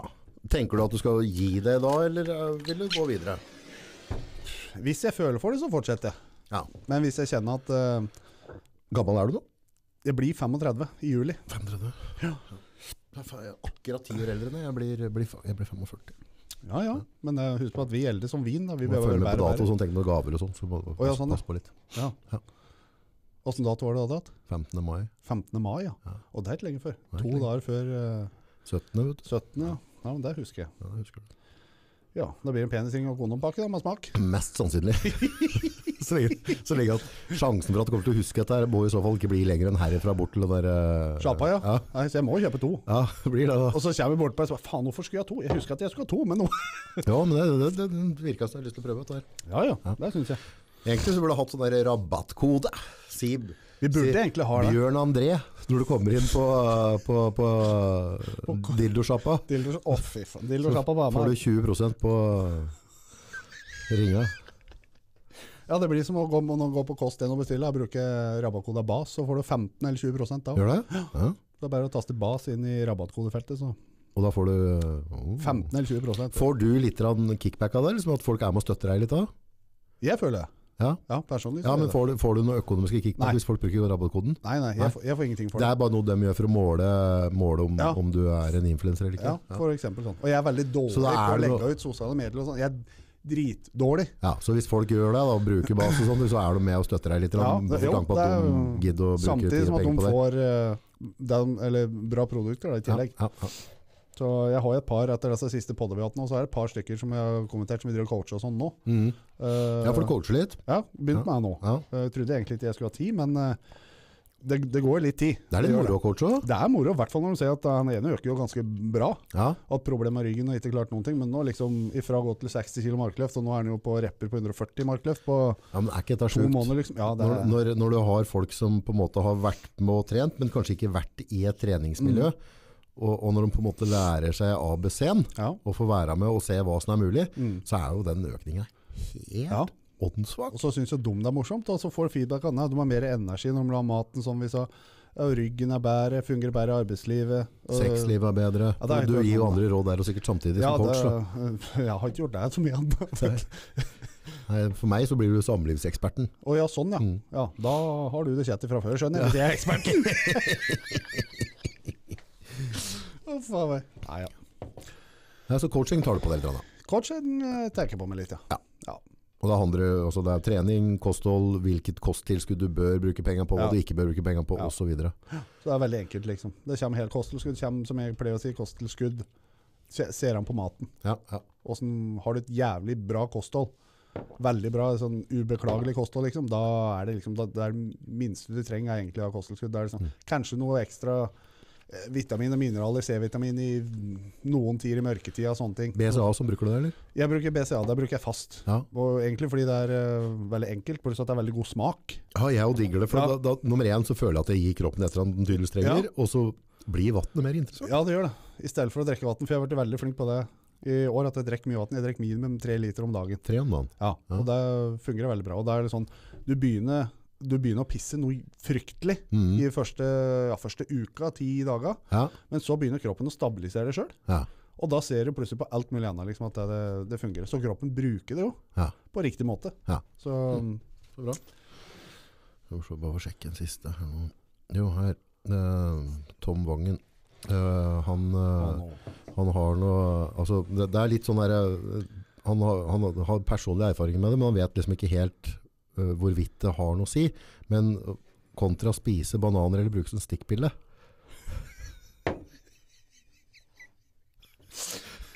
Nei, altså, for å si det sånn, da. Han hadde ikke merka forskjell likevel. Han er så tjukk, så han kunne ha tredd opp i nåsen og fått like mye effekt.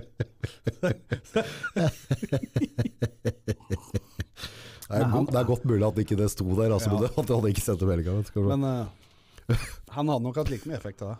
Skal vi se her, har fått. Hvordan greier du å holde håret ditt så tykt og fint tross alderen? Har proteinntaket spilt noen rolle?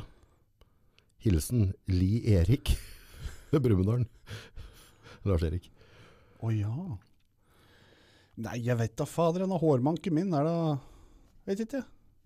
Har ikke tenkt på. Jeg er ikke så nøye på åssen de ser Vet du, jeg har hatt frisøren kanskje to-tre ganger i året. Okay. Eller så får jeg som regel uh, uh, vesla hjemme til å til å bare kjøre maskin over. Ja, ja. Det er liksom ja men det er, det er mange av oss da, som, som Jo, jo, men proteiner har jo Protein og, og kosthold, altså protein og kollagen og alt sammen. Det har jo for hud, hår, negler. Ja, Så det hjelper Så liksom. har, ja, det gjør vi. Så det er der jeg gikk feil. Ja, enten så gikk bakvendt, da, ser det ut som. Det er mange av oss som er skalla, ikke sant? Du så, så han der, han der Will Smith?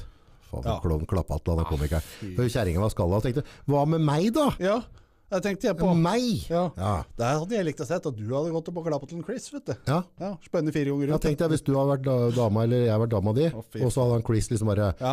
og, Å, han sitter med bleka ræva, Nei, og så, og så drev jeg erta håret mitt, og så hadde du blitt sånn Skikkelig høyreirritert. For det, dette er skikkelig følsomt for August, Ja. og så hadde det bare gått og fika han. Ja, dette syns jeg var uh... Dette men han er Will Smith. Mm. Jeg har aldri klart han, jeg. Altså, det er liksom Jeg bare føler Jeg, Jeg jeg, synes det er jeg, syns det Jeg bare synes sånn drittunge. Jeg syns den er kul på film, men når jeg ser den på Instagram og sånn, så blir det sånn Faen heller. Nei, jeg har ikke klart den på film. Han, han, han, han er liksom sånn derre Det er kanskje bare at han er for perfekt, liksom, så det Kan irriterer meg. Jeg vet ikke. Ja, At, for det han er en kjekk kar sikkert, og det greiene der. Men nei, jeg vet ikke. Jeg bare syns han bare har vært fake fra dag én. Og Litt ikke, stram. og ikke har jeg syntes han har vært noen god skuespiller heller. Jeg synes det alt det, alt det han gjør, har jeg på men er, Jeg vet ikke. Ja. Kan godt hende bare for at det irriterer meg når Fresh Place for Bill Air, eller at- altså at, Antageligvis. at det har hengt igjen der. Ja. Nei, så, så jeg bare sånn der, Det er liksom sånn der, filmer jeg ikke gidder å se. Altså Hvis jeg ser at Will Smith er, så, så bare jeg orker ikke. Det er ikke nei, det er ikke tema her. Så, men du, du, har sånn som, du har jo andre, han derre um, Leon Nilsen, han i den derre Taken Ja. og sånn. Hvis han har en film, så må jeg se den. Ja. Han Uavhengig. eller eh, Denzel Washington. Åh, den så, åh. Det, er alt, det er aldri dårlig film. Han, Han. han, den som, det er Tidenes. En av ti. ja, ja. Topp tre i Og så verden. var det het for oss der, um, den filmen han har. Det er to- to-tre av dem. uh, oh, ja. eh, uh, eh, Å, fy faen. Jeg, jeg satt og så på dem i Han går. hadde sett på klokka og bare Ja. smukk, smakk, smakk.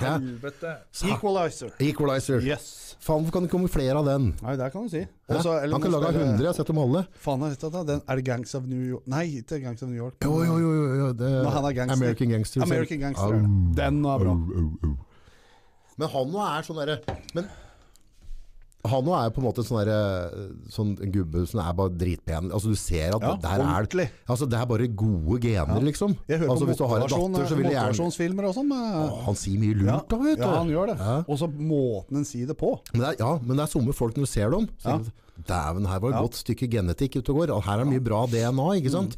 Og han er den typen der. Det er bare etter, han er faen meg likeable. Det er også. veldig lett for oss å se bra genetikk når vi ser oss sjøl i speilet om morgenen. Stikk motsatt. Ja, tenkte stikk motsatt, ja, ja. Kommer det sånn retard, ikke sant? Ja. Så det, men han Will Smith har ikke den genetikere, og når han går um, Nei, det blir litt tilgjort. Ja, dritrygg, drittrygg, og så sier altså, Hæ? Men hun kjerringa står og hacker eh, kompisen åt, eh, Det gjorde det åt sønnen. Ja, Og så så jeg et annet klipp her, Ja. der hun liksom prater med Ja, men det må du skjønne, Will, for at du er dritt. Altså, altså bare, det var en periode altså, Så han sitter der liksom sånn derre Mm. Ok. Oh, ja. Ok, ja. Ja. Når, når, når kona di hacker kompisen åt sønnen din Den er tung å spise, Tror altså. ikke du får svørt den, nei. Nei. Eller hun har sikkert svørt Ja, hun- Så måtte du liksom dra Ja, dette inn som der, spermfest. Nå ligger der sånn, så Nei, men jeg tenkte på du må sikkert mat etterpå. Og, tenkte og jeg da. sånn, ok, ja. Ja. Jeg bare fikk neste sånn topic i podden, liksom. Spermfest med Bjørn André. Oi. Ja. Ja, det blir ikke fest uten skinnvest, nei. Det blir ikke det.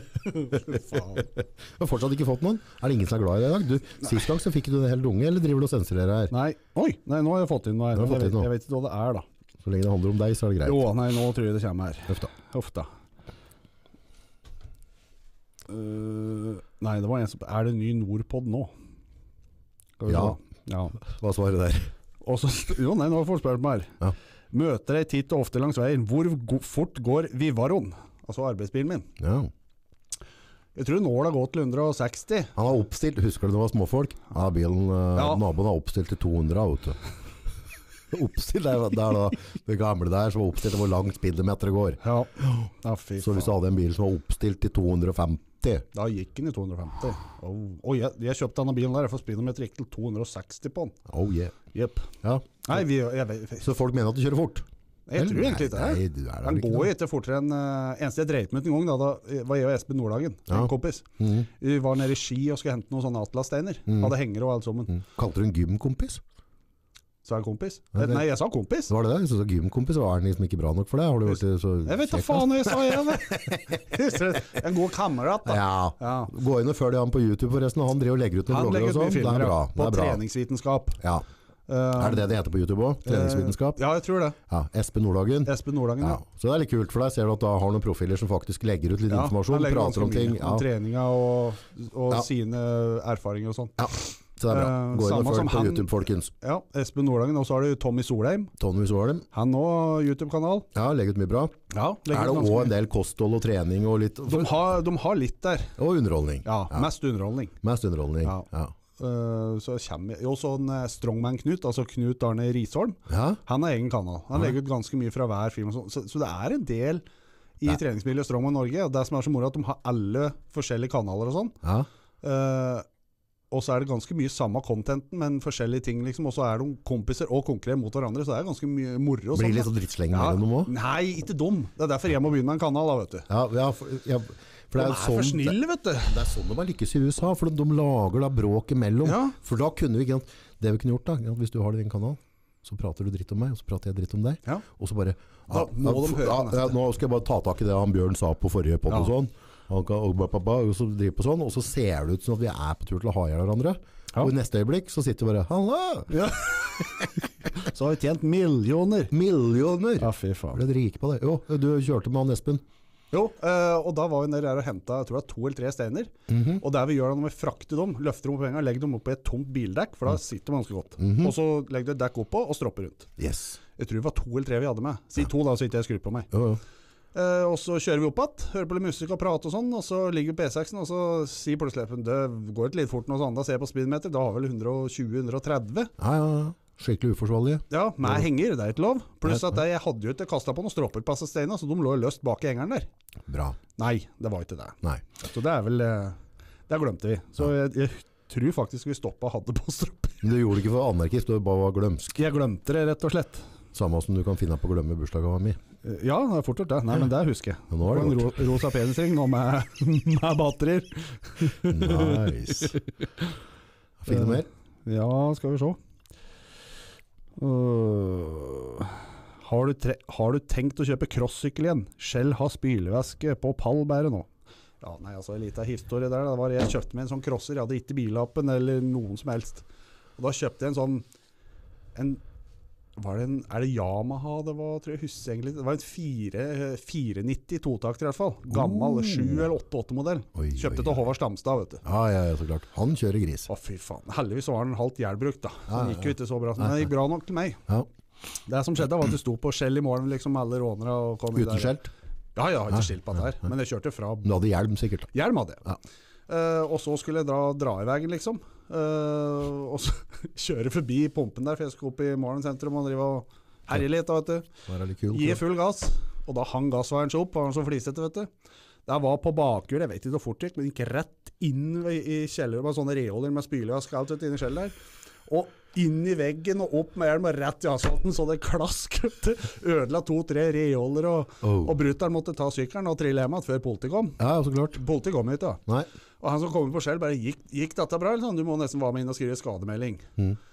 Og jeg tenkte ja, dette er fint. Kjøre med en crosser der og ikke ha lappen eller noe. Ja, åssen moped var dette, sånn? Moped hadde jeg hjemme. Ja. Nei, dette var en sånn Suzuki Nei, en sånn eh, Furia, ser jeg. Furia? Å ja, så 50 kubikk, da. Ja, dette var en 50 kubikk, ser jeg. Jævla nisse, vet du.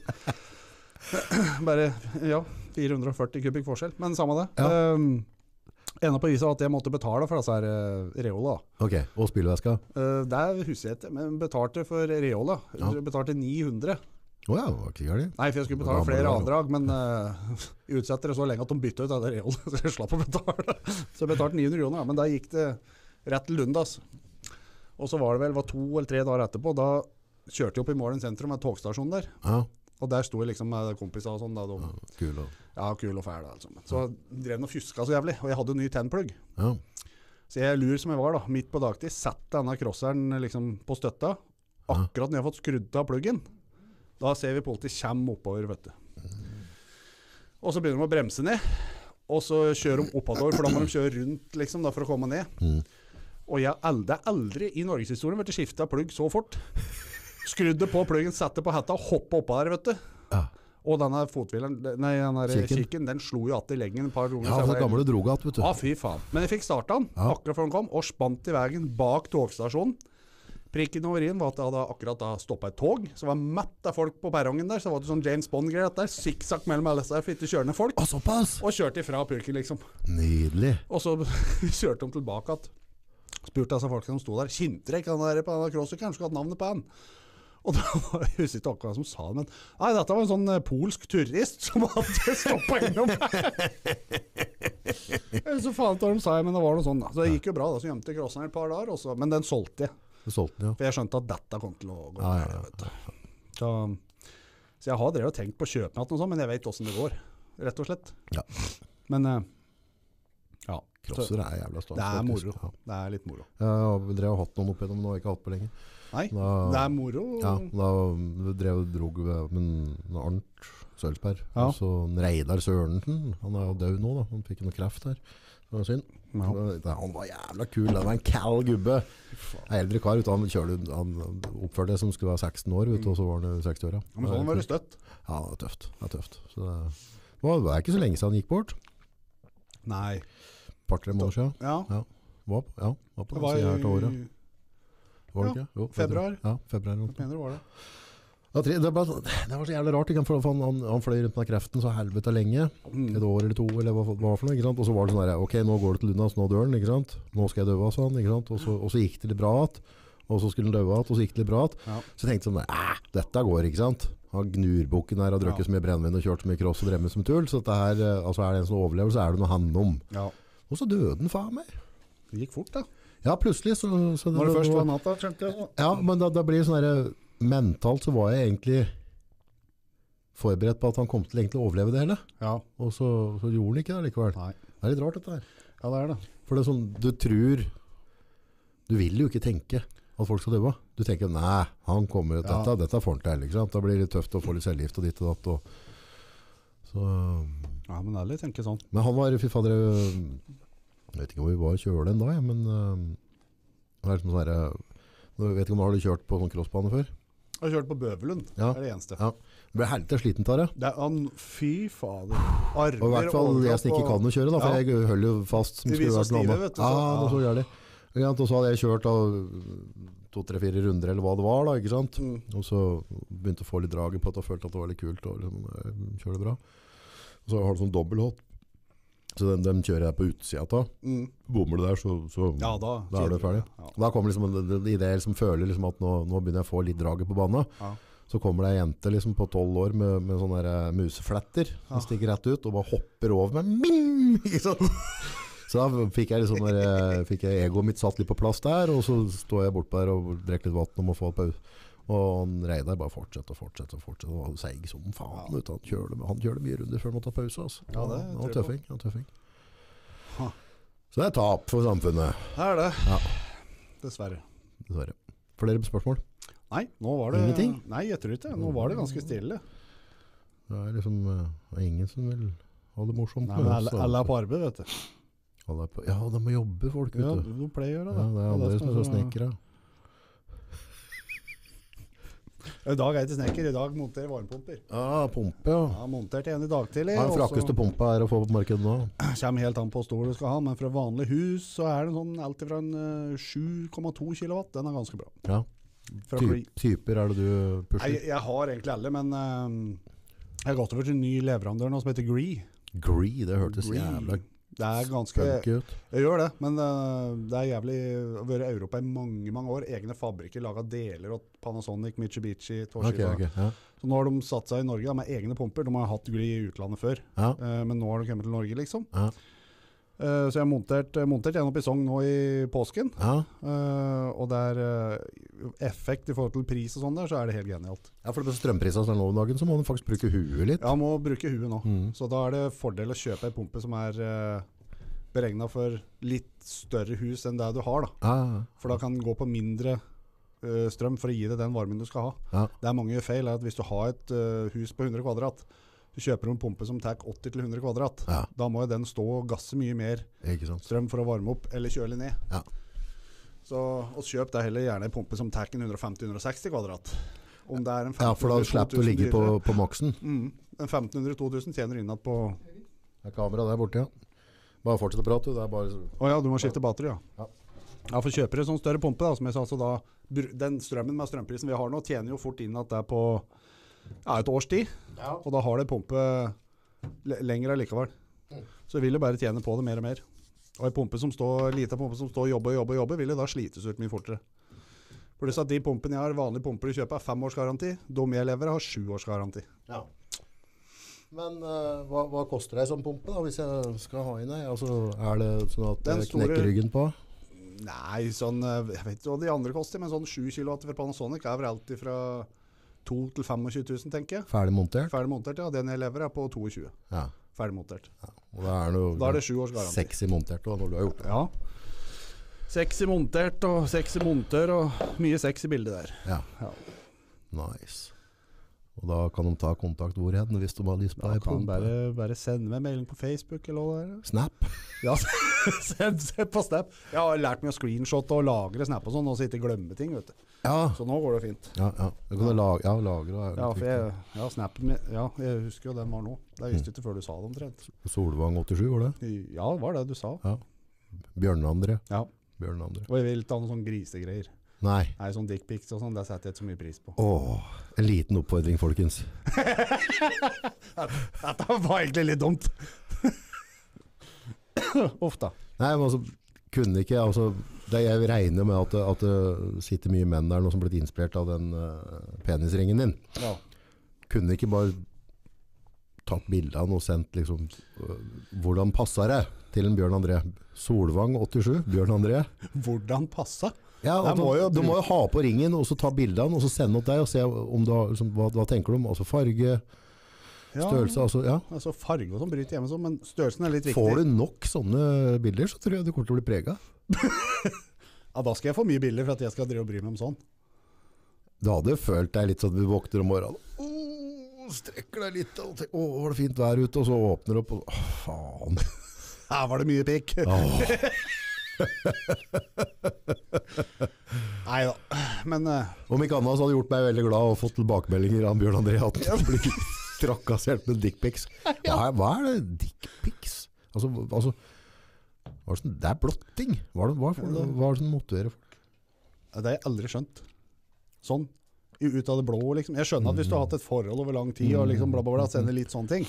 Det er noe annet enn å bare sende bilde av en sånn eh, så, Ja, det er vel sikkert noen som liker det, vet du. Ja.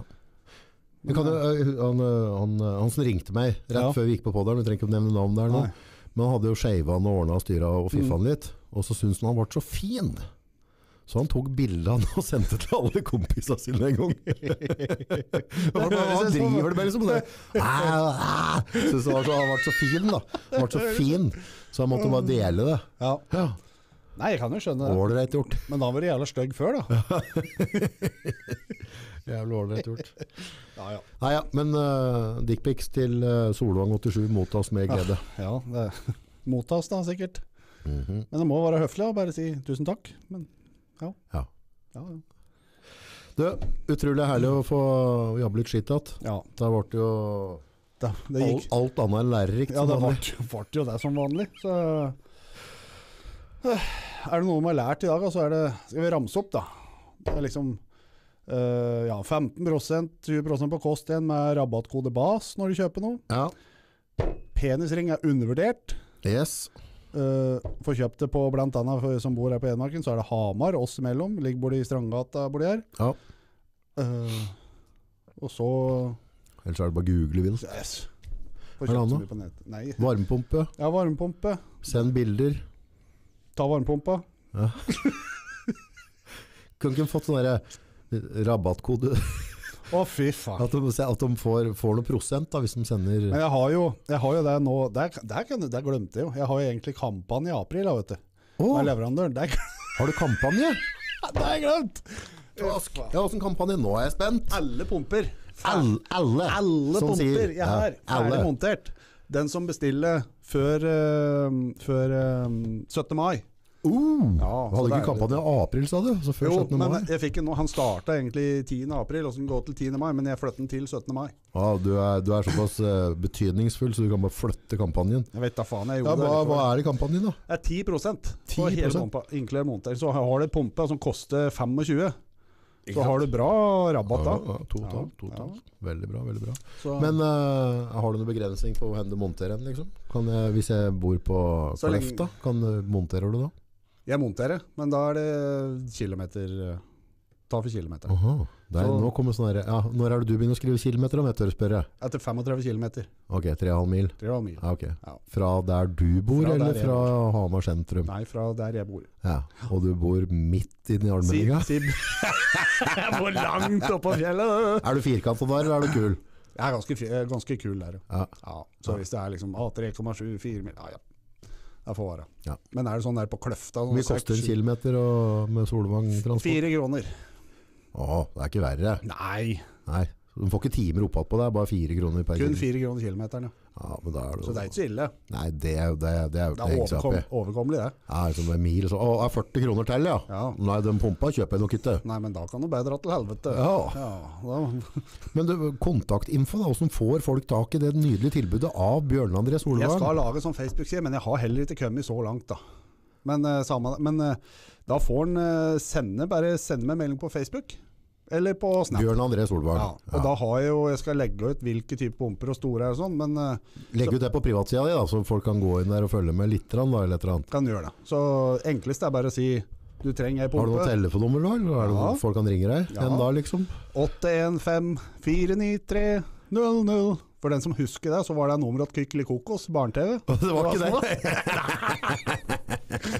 Nei, nummeret mitt er eh, 97 77 50 14. 97 77 50 14. Yes. Tøft. Ja. Og da fikk hun som sendte Dette er for ren business. Ren business. No pleasure, only business. Ja. Det blir jo pleasure når jeg skrur på pumpa, det kinner liksom Det varmer. Kinner varmen. Ja. Eller nå mot sommeren, da. Kinner kulda. Ja. For det blir bra. Ja. Og er det noen som ikke setter pris på sin egen helse, så går det an å hyre deg inn som personlig trener. Der går det an.